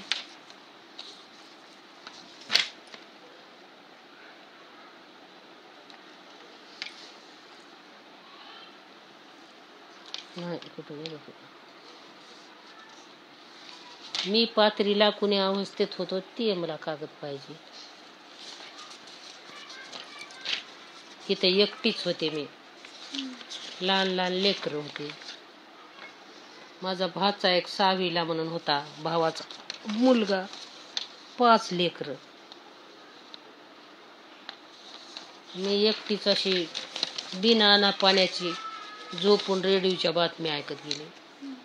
रेडिओवर काय येते? तिसऱ्या दिवशी ते आलं की गावचा सरपंच आणि पोलीस पाटलावर जिम्मेदारी राहील.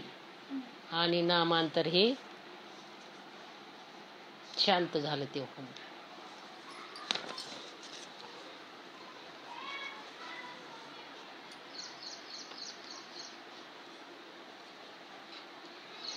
मी ऐकलं होतं की ऐकली. रेडिओवर ऐकत होते. रेडिओवर ऐकत होते. हो. हं.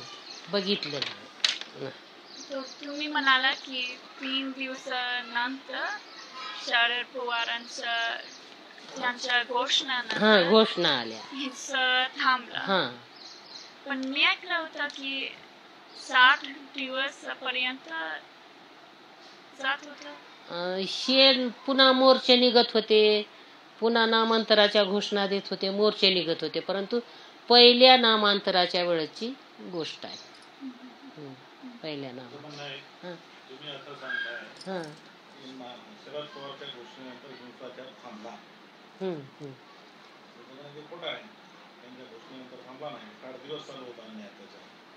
मग मी म्हणाले की तिसऱ्या दिवशीची घोषणा झाली.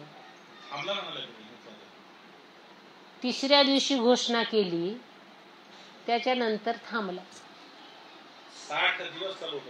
किती? साठ दिवस. मी ऐकलं होतं. हं, हं. असेल की मग तितकं आता जाळपोळ अजून कुठं केलं असेल कुणीकडल्या भागात? इकडे थोडीशी शांतता गाड्या सुरू झाल्या. पेपर सुरू झाला. म्हणून मी म्हणते की थांबलो झालं ना सर. पेपर सुरू झाला तिसऱ्या चौथ्या दिवशी. आणि गाड्या सुरू झाल्या चौथ्या दिवशी. त्या घोषणेच्या नंतर. मग आता ते तर नामांतराचे मोर्चे वगैरे सुरू होते. सुरू होत्या कारवाई का सुरू येणं जाणं लोक भेटत होते. येऊन काय झालं ह्या गावात काय झालं त्या गावात काय झालं. असं हो बरोबर आहे. हां हां. मुलाखती घेत होते तुमच्या गावात काय झालं? अजूनही हां? थांबलेलं नाही आताही थांबलेलं नाही. नामांतर. आता आता काय चालू आहे? आता तेच आहे चालूच. आहे तसं मोर्चात जाळपोळ करत गेलं. लुटमार.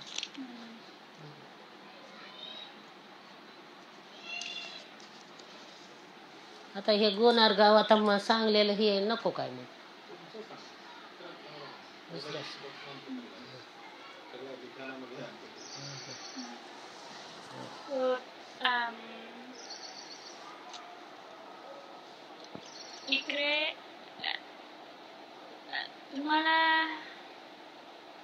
तो इकडे शिवसेना शिवसेना हो हां हां ते मोठं इथे आहे का म्हणजे मला माहिती आहे की मुंबईमध्ये शिवसेना मोठा आहे. इकडे पण मोठा मोठा पक्ष आहे की? मोठा पक्ष काँग्रेस पक्ष आहे. काँग्रेस. त्या त्या शिवाय कोणतं कोणतं महत्त्वपूर्ण आहे? काँग्रेस पक्ष मोठा आहे. त्याच्यावर आता भाजपा मोठाच म्हणावं लागेल. भाजपा. शिवसेना थोडा आहे. शिवसेना थोडी तुम्हाला माहीत आहे की भाजपा केव्हापासून मोठा आहे? आता मागच्या निवडणुकीपासून. हो तो त्यापूर्वी काँग्रेस पक्ष. काँग्रेस पक्ष. आणि इकडे म्हणजे तुमच्या अनुभवात मी एक उदाहरण सांगते की रस्त्यात चढताना मला खूप जे ऑरेंज झेंडा दिसला ते भगवा झेंडा हो हा तर तुम्हाला माहिती की केव्हा हे झेंडे केव्हापासून सुरू झाले ते झेंडे किंवा परभणी आता वीस वीस सांगताय ना बाबा वीस एक वर्ष झालं असं. बाळ ठाकरे आलं तेव्हापासून. बाळ ठाकरे. वीस वर्ष होय आले. भगवा झेंडा शिवसेना निवडून आली. तुम्हाला वाटतं की इकडे काही परिणाम झाला? झाली? झेंडे झेंड्यामुळे हम्म. इकडे काही परिणाम झाली? हम्म जाती येता वाढीस लागली. हम्म? खेडेपाडे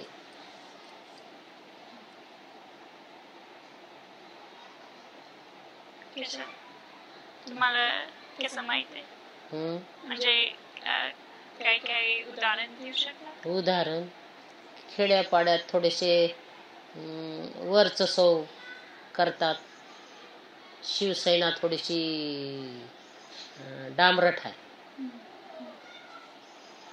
म्हणजे दलितावर अन्याय अत्याचार सुरू आहे. आणि शिवसेना लोक करतात किंवा शब्द म्हणजे पाठिंबाचा शब्द देतात. तुम्हाला कसं माहीत आहे की शिवसेनेचा संबंध आहे? काय हे?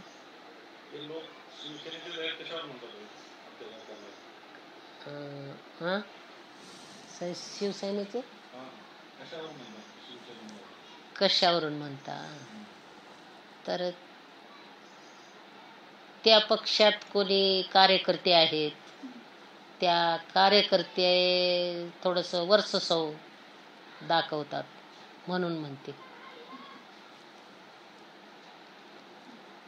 त्या सैनेतले कार्यकर्ते. कोणीही असो आता ते? आणि शिवसेना आणि भाजपा इकडे ते सहमत असतात किंवा वेगळं वेगळं प्रचार? आता एकच झाले अजून ते भाजप आणि शिवसेना झाली का युती नाही. हां. युती नाही त्याची म्हणजे भाजपा लोक कधी कधी हिंसात्मक शब्द देतात किंवा जास्त वेगळं रस्त्यावर. असं ते शांत आहेत भाजपा काय नाही आंदोलन काहीतरी त्यांचे कार्यक्रम करतात काही असं भाजपा कुणाला काय म्हणता येईल प्रचार किंवा कुणाच्या उन्नतीच्या दलिताची उन्नती व्हावी अस्पृश्यता निर्मूलन व्हावं असं ती भाजपा काही करत नाही. आणि R S S? R S S? कोण? RSS आर एस एस ते तर नाही कट्टरच विरोध आहे. R S. आणि दलित पॅन्थर्स नामांतराच्या काळात ज्यांचे निर्माण झाले.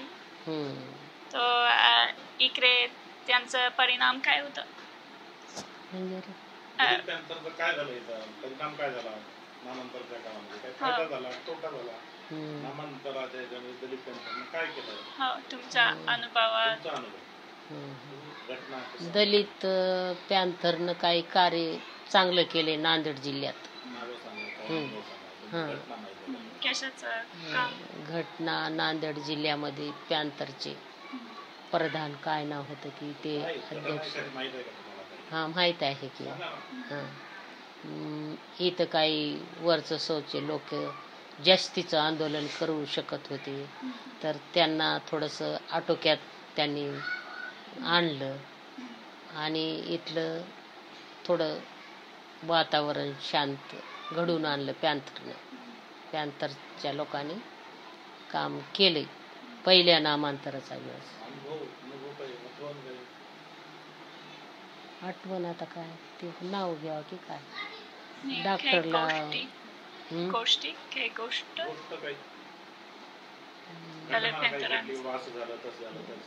घटना घडली. सगळे हे सुगाव म्हणून इथं जवळच आहे. नेमाड्याला मारलं आणि या नांदेडमधल्या काही मोठे व्यक्ती आहेत. त्यांना मारण्याच्या अंदाजात होतं परंतु इथले पॅन्थरचे दोघं तिघं मुलं होते. त्या मुलाने त्यांना राखून जे कोणी मेन व्यक्ती होता त्या मेन व्यक्तीलाच झोडलं आणि त्याला मारल्यामुळे इथलं आंदोलन थोडं शांत झालं. तो नंतर त्याला नेलं दवाखान्यात. तो वाचला तो माणूस. परंतु पॅन्थरच्या मुलाने हे अक्षरशः त्याला मारून इथलं आंदोलन शांत केलं.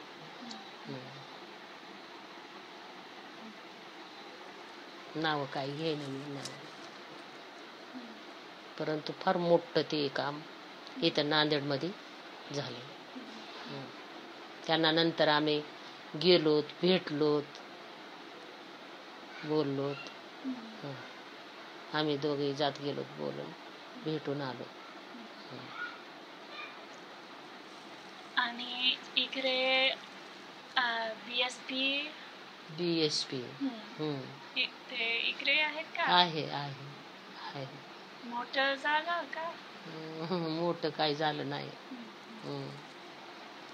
माझा मुलगाच होता त्या हा, हं, हे महेंद्र. हा. बरंच मोर्चे काढत होते हे त्यांची प्रचार करणं निवडणं त्या बाईचं काय नाव उभा राहत होती. मोरे बाई की काय ती बरेच वेळा उभा राहिली परंतु ती काही निवडून आली नाही.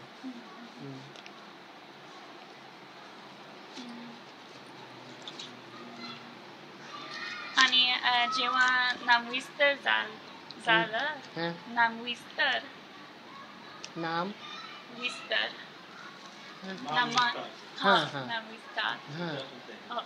हा विस्तार जेव्हा झालं तुम्ही कुठे होता? तुम्ही परभणीला होते. हो. हं. काय वाटलं? चांगलं वाटलं आता परंतु ते पूर्ण नाव दिलं नाही. असं मनाला थोडीशी हे वाटली. बाबासाहेब आंबेडकर मराठवाडा विद्यापीठ असं दिलं. तर ते मराठवाडा म्हणून थोडंसं दुःख वाटलं इतकं परिश्रम घेतले परंतु नाव भेटूच शकलं नाही. आणि इतराला नाव द्यायचं म्हणलं की ते कोणाला विचारत नाहीत त्याच्या त्याच्या हातात आहे. ते देऊन घेतात पण आम्हाला मागावं लागतं. आम्हाला मागावं लागतं. त्यांना मागायची गरज नाही. ते स्वतःच घेतात स्वतःच खातात. आपल्याला मागून खावं लागते. असं दुःख वाटलं ते नाव ऐकून. आखरीला भेटलं नाही. खूप तर त्रास झाला आमच्या समाजाला. लोकांना गरीब लोकांना. असं वाटलं. मला वाटतं की नामांतर आंदोलनामुळे आणि पूर्वी हिंस हिंसामुळे. या हे हे एरिया हा एरिया वेगळा आहे आता नामांतरण नामांतरानंतर. ग्रामीण भाग वेगळे की हं. नाही आता बरं आहे की. पूर्वीच्या पेक्षा आता ठीक आहे. थोडं तरी का होईना बाबासाहेब आंबेडकर मराठवाडा विद्यापीठ. थोडंसं बरं वाटते. पहिलं बाबासाहेबाचं नावच तिथं नव्हतं ना. हां. असं म्हणून थोडं हा? समाज जीवन. हम्म.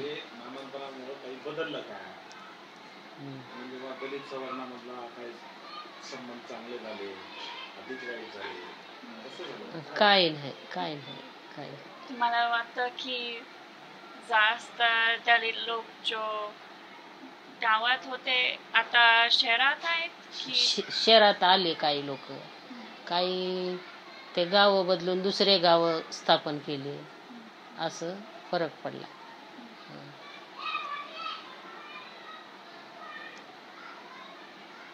तुम्ही नामविस्तर दिन साजरा करता का?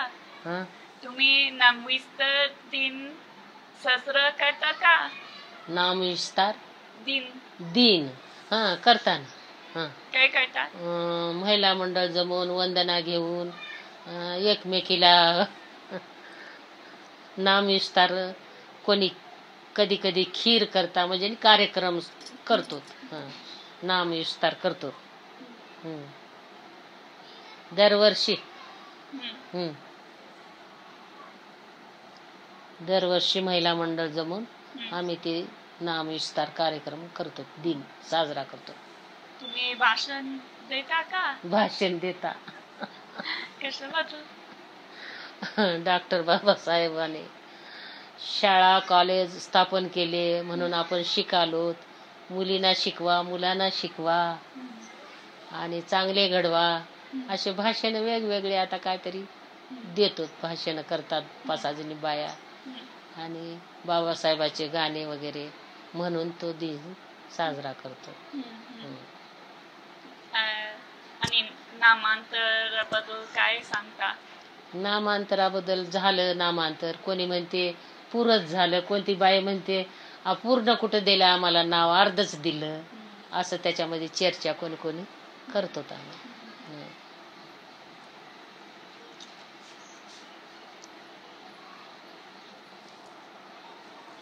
अम, तुम्हाला तुमच्या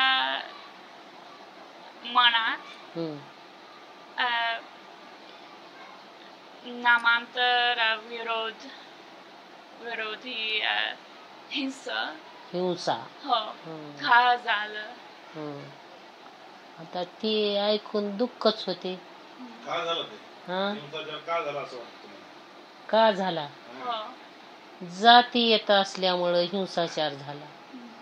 सगळे माणसं मानव एक आहोत अशी इथली भावना माणसाची नाही. म्हणून हिंसाचार वाढते.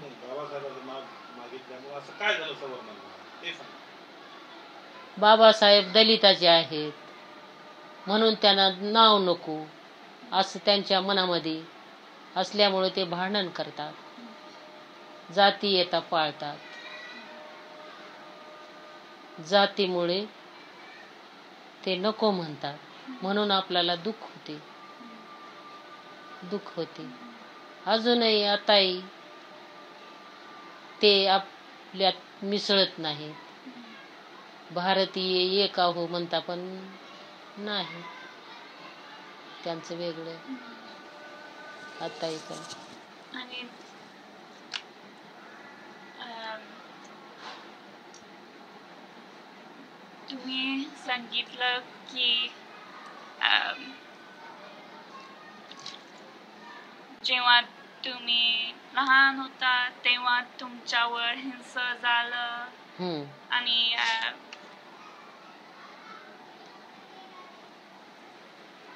जयंती पहिला पहिल्या जयंतीमध्ये हम्म. बोयकाट झालं. तुमच्या लेखामुळे हिंसाचं थ्रेट. झालं. तर हे सर्व जा- जातीमुळे आहे हा जातीमुळे आणि थोडं पण तुम्ही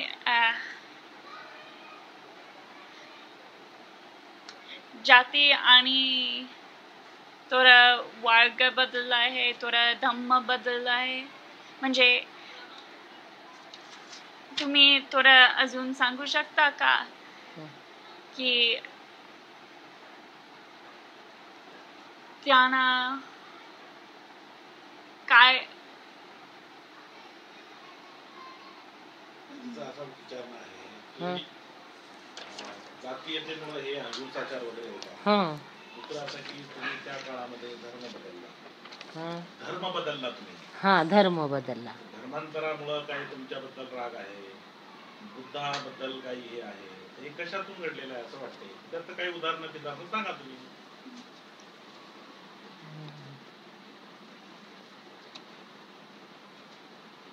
ते राहू द्या काढून. आपण दलित त्यांचे गुलाम होते. त्यांचे काम करत होते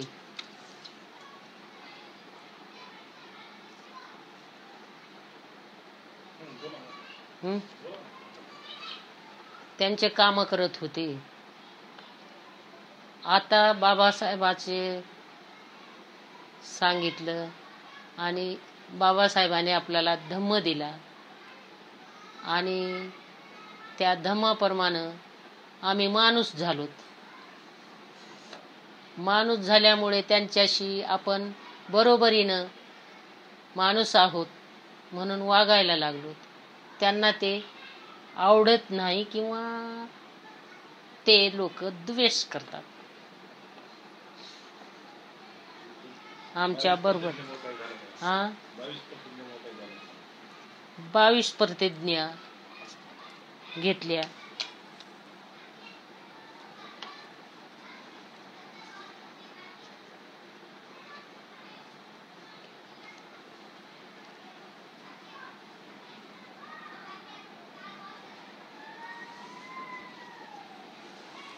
बाबासाहेबांनी धर्मांतर केला. आधी बाबासाहेबाने सगळ्याला सुधारण्याचा प्रयत्न केला परंतु त्या वरचं सो लोकाने त्यांचं ऐकलं नाही. मग त्याने सांगितलं की या बहुजनालाच आपण सुधारलेलं बरं. म्हणून बाबासाहेबानं धर्मांतर केलं आणि आम्हालाही बौद्ध धर्मात टाकलं.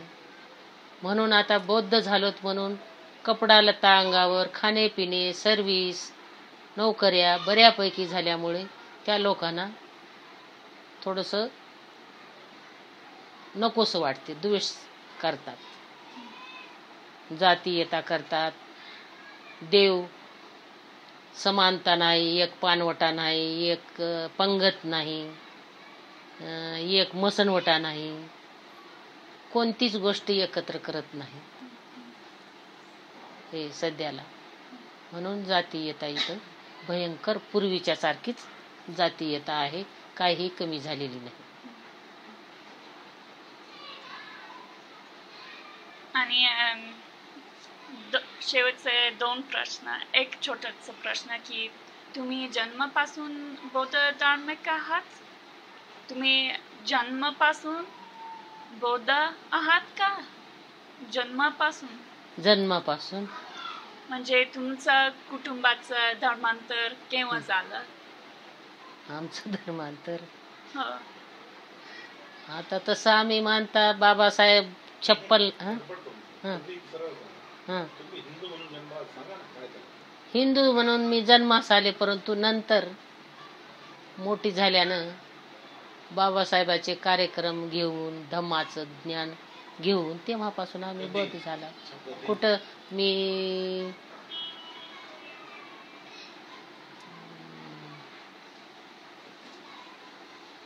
इथं चौसष्ट चौसष्टपासून? बौद्ध झाल्या म्हणून. चौसष्टला आम्ही नांदेडमध्ये होतो. भीम जयंती करत गेलोत वंदना घेत गेलोत इतरांना वंदना सगळ्यांना. तेव्हाच वाटलं त्या कार्यक्रमामध्ये इथं वंदना घ्यायची पूजा करायची बुद्धाची फोटो मांडायची आम्ही?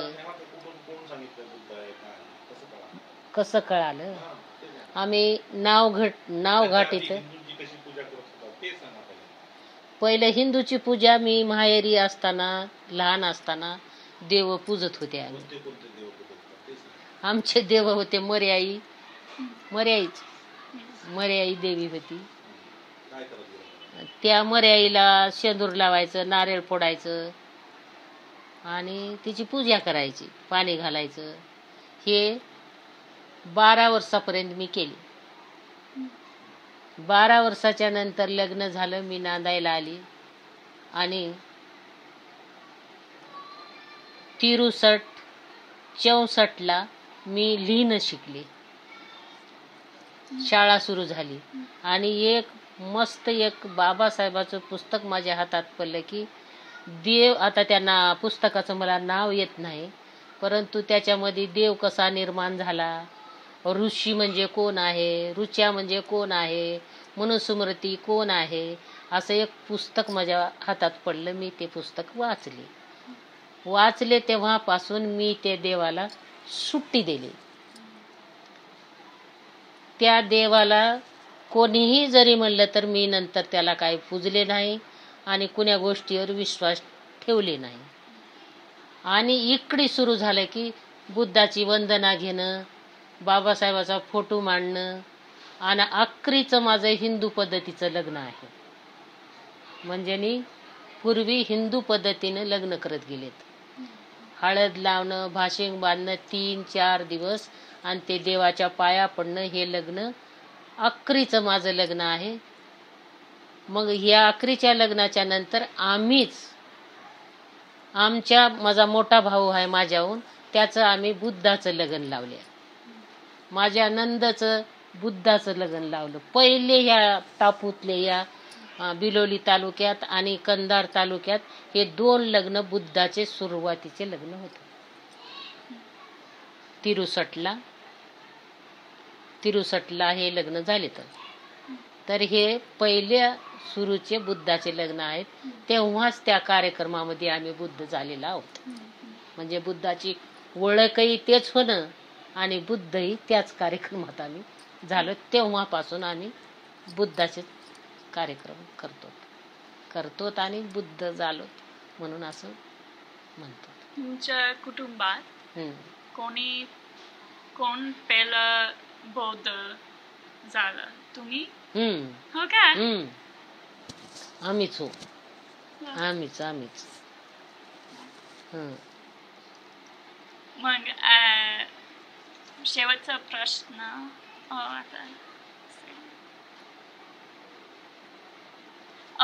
तुमचं तो आपल्याला माहीत आहे की आतापर्यंत अत्याचार अन्याय होत आहे. तो तुमच्या मनात आशा काय आहे? कसं प्रगती कसं होणार आहे? म्हणजे तुमचं काम धमाचं काम आहे. तुमचं आशा भविष्यासाठी. भविष्यासाठी. हो धमामध्ये आहे का? आहे. की अ, म्हणजे तुम्हाला वाटतं की समता यावी. होणार आहे आणि कसं. बुद्धाचे नेम पाळले बुद्धाच्या विचारासारखं वागलं आणि धम्माचेच विचार त्या सहविधानामध्ये आहेत. सरकारने पाळलं. तर बौद्धाच्या विचारानं चाललं तर या देशाचा उद्धार होईल. आणि महिलाने घरोघरच्या महिलाने वाचन केलं. धम्म वाचला. आपले मुलं शाळेत घातले. मुली शाळेत घातल्या. त्यांना शिक्षण दिलं. तर सगळ्या समाजाची प्रगती होईल आणि भवितव्य आपलं उज्ज्वल होईल असं वाटते ना आशाही आहे तसंच व्हावं. धम्म वाढावा आणि आपला देश प्रगतीच्या दिशेनं जावं वाटते?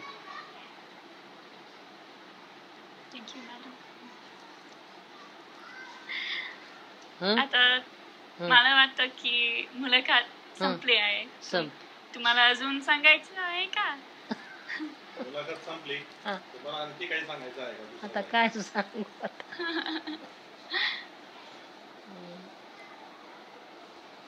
हं, बरं. हं,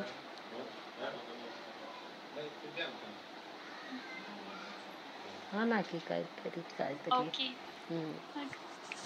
धन्यवाद आणि जय भीम. जय भीम.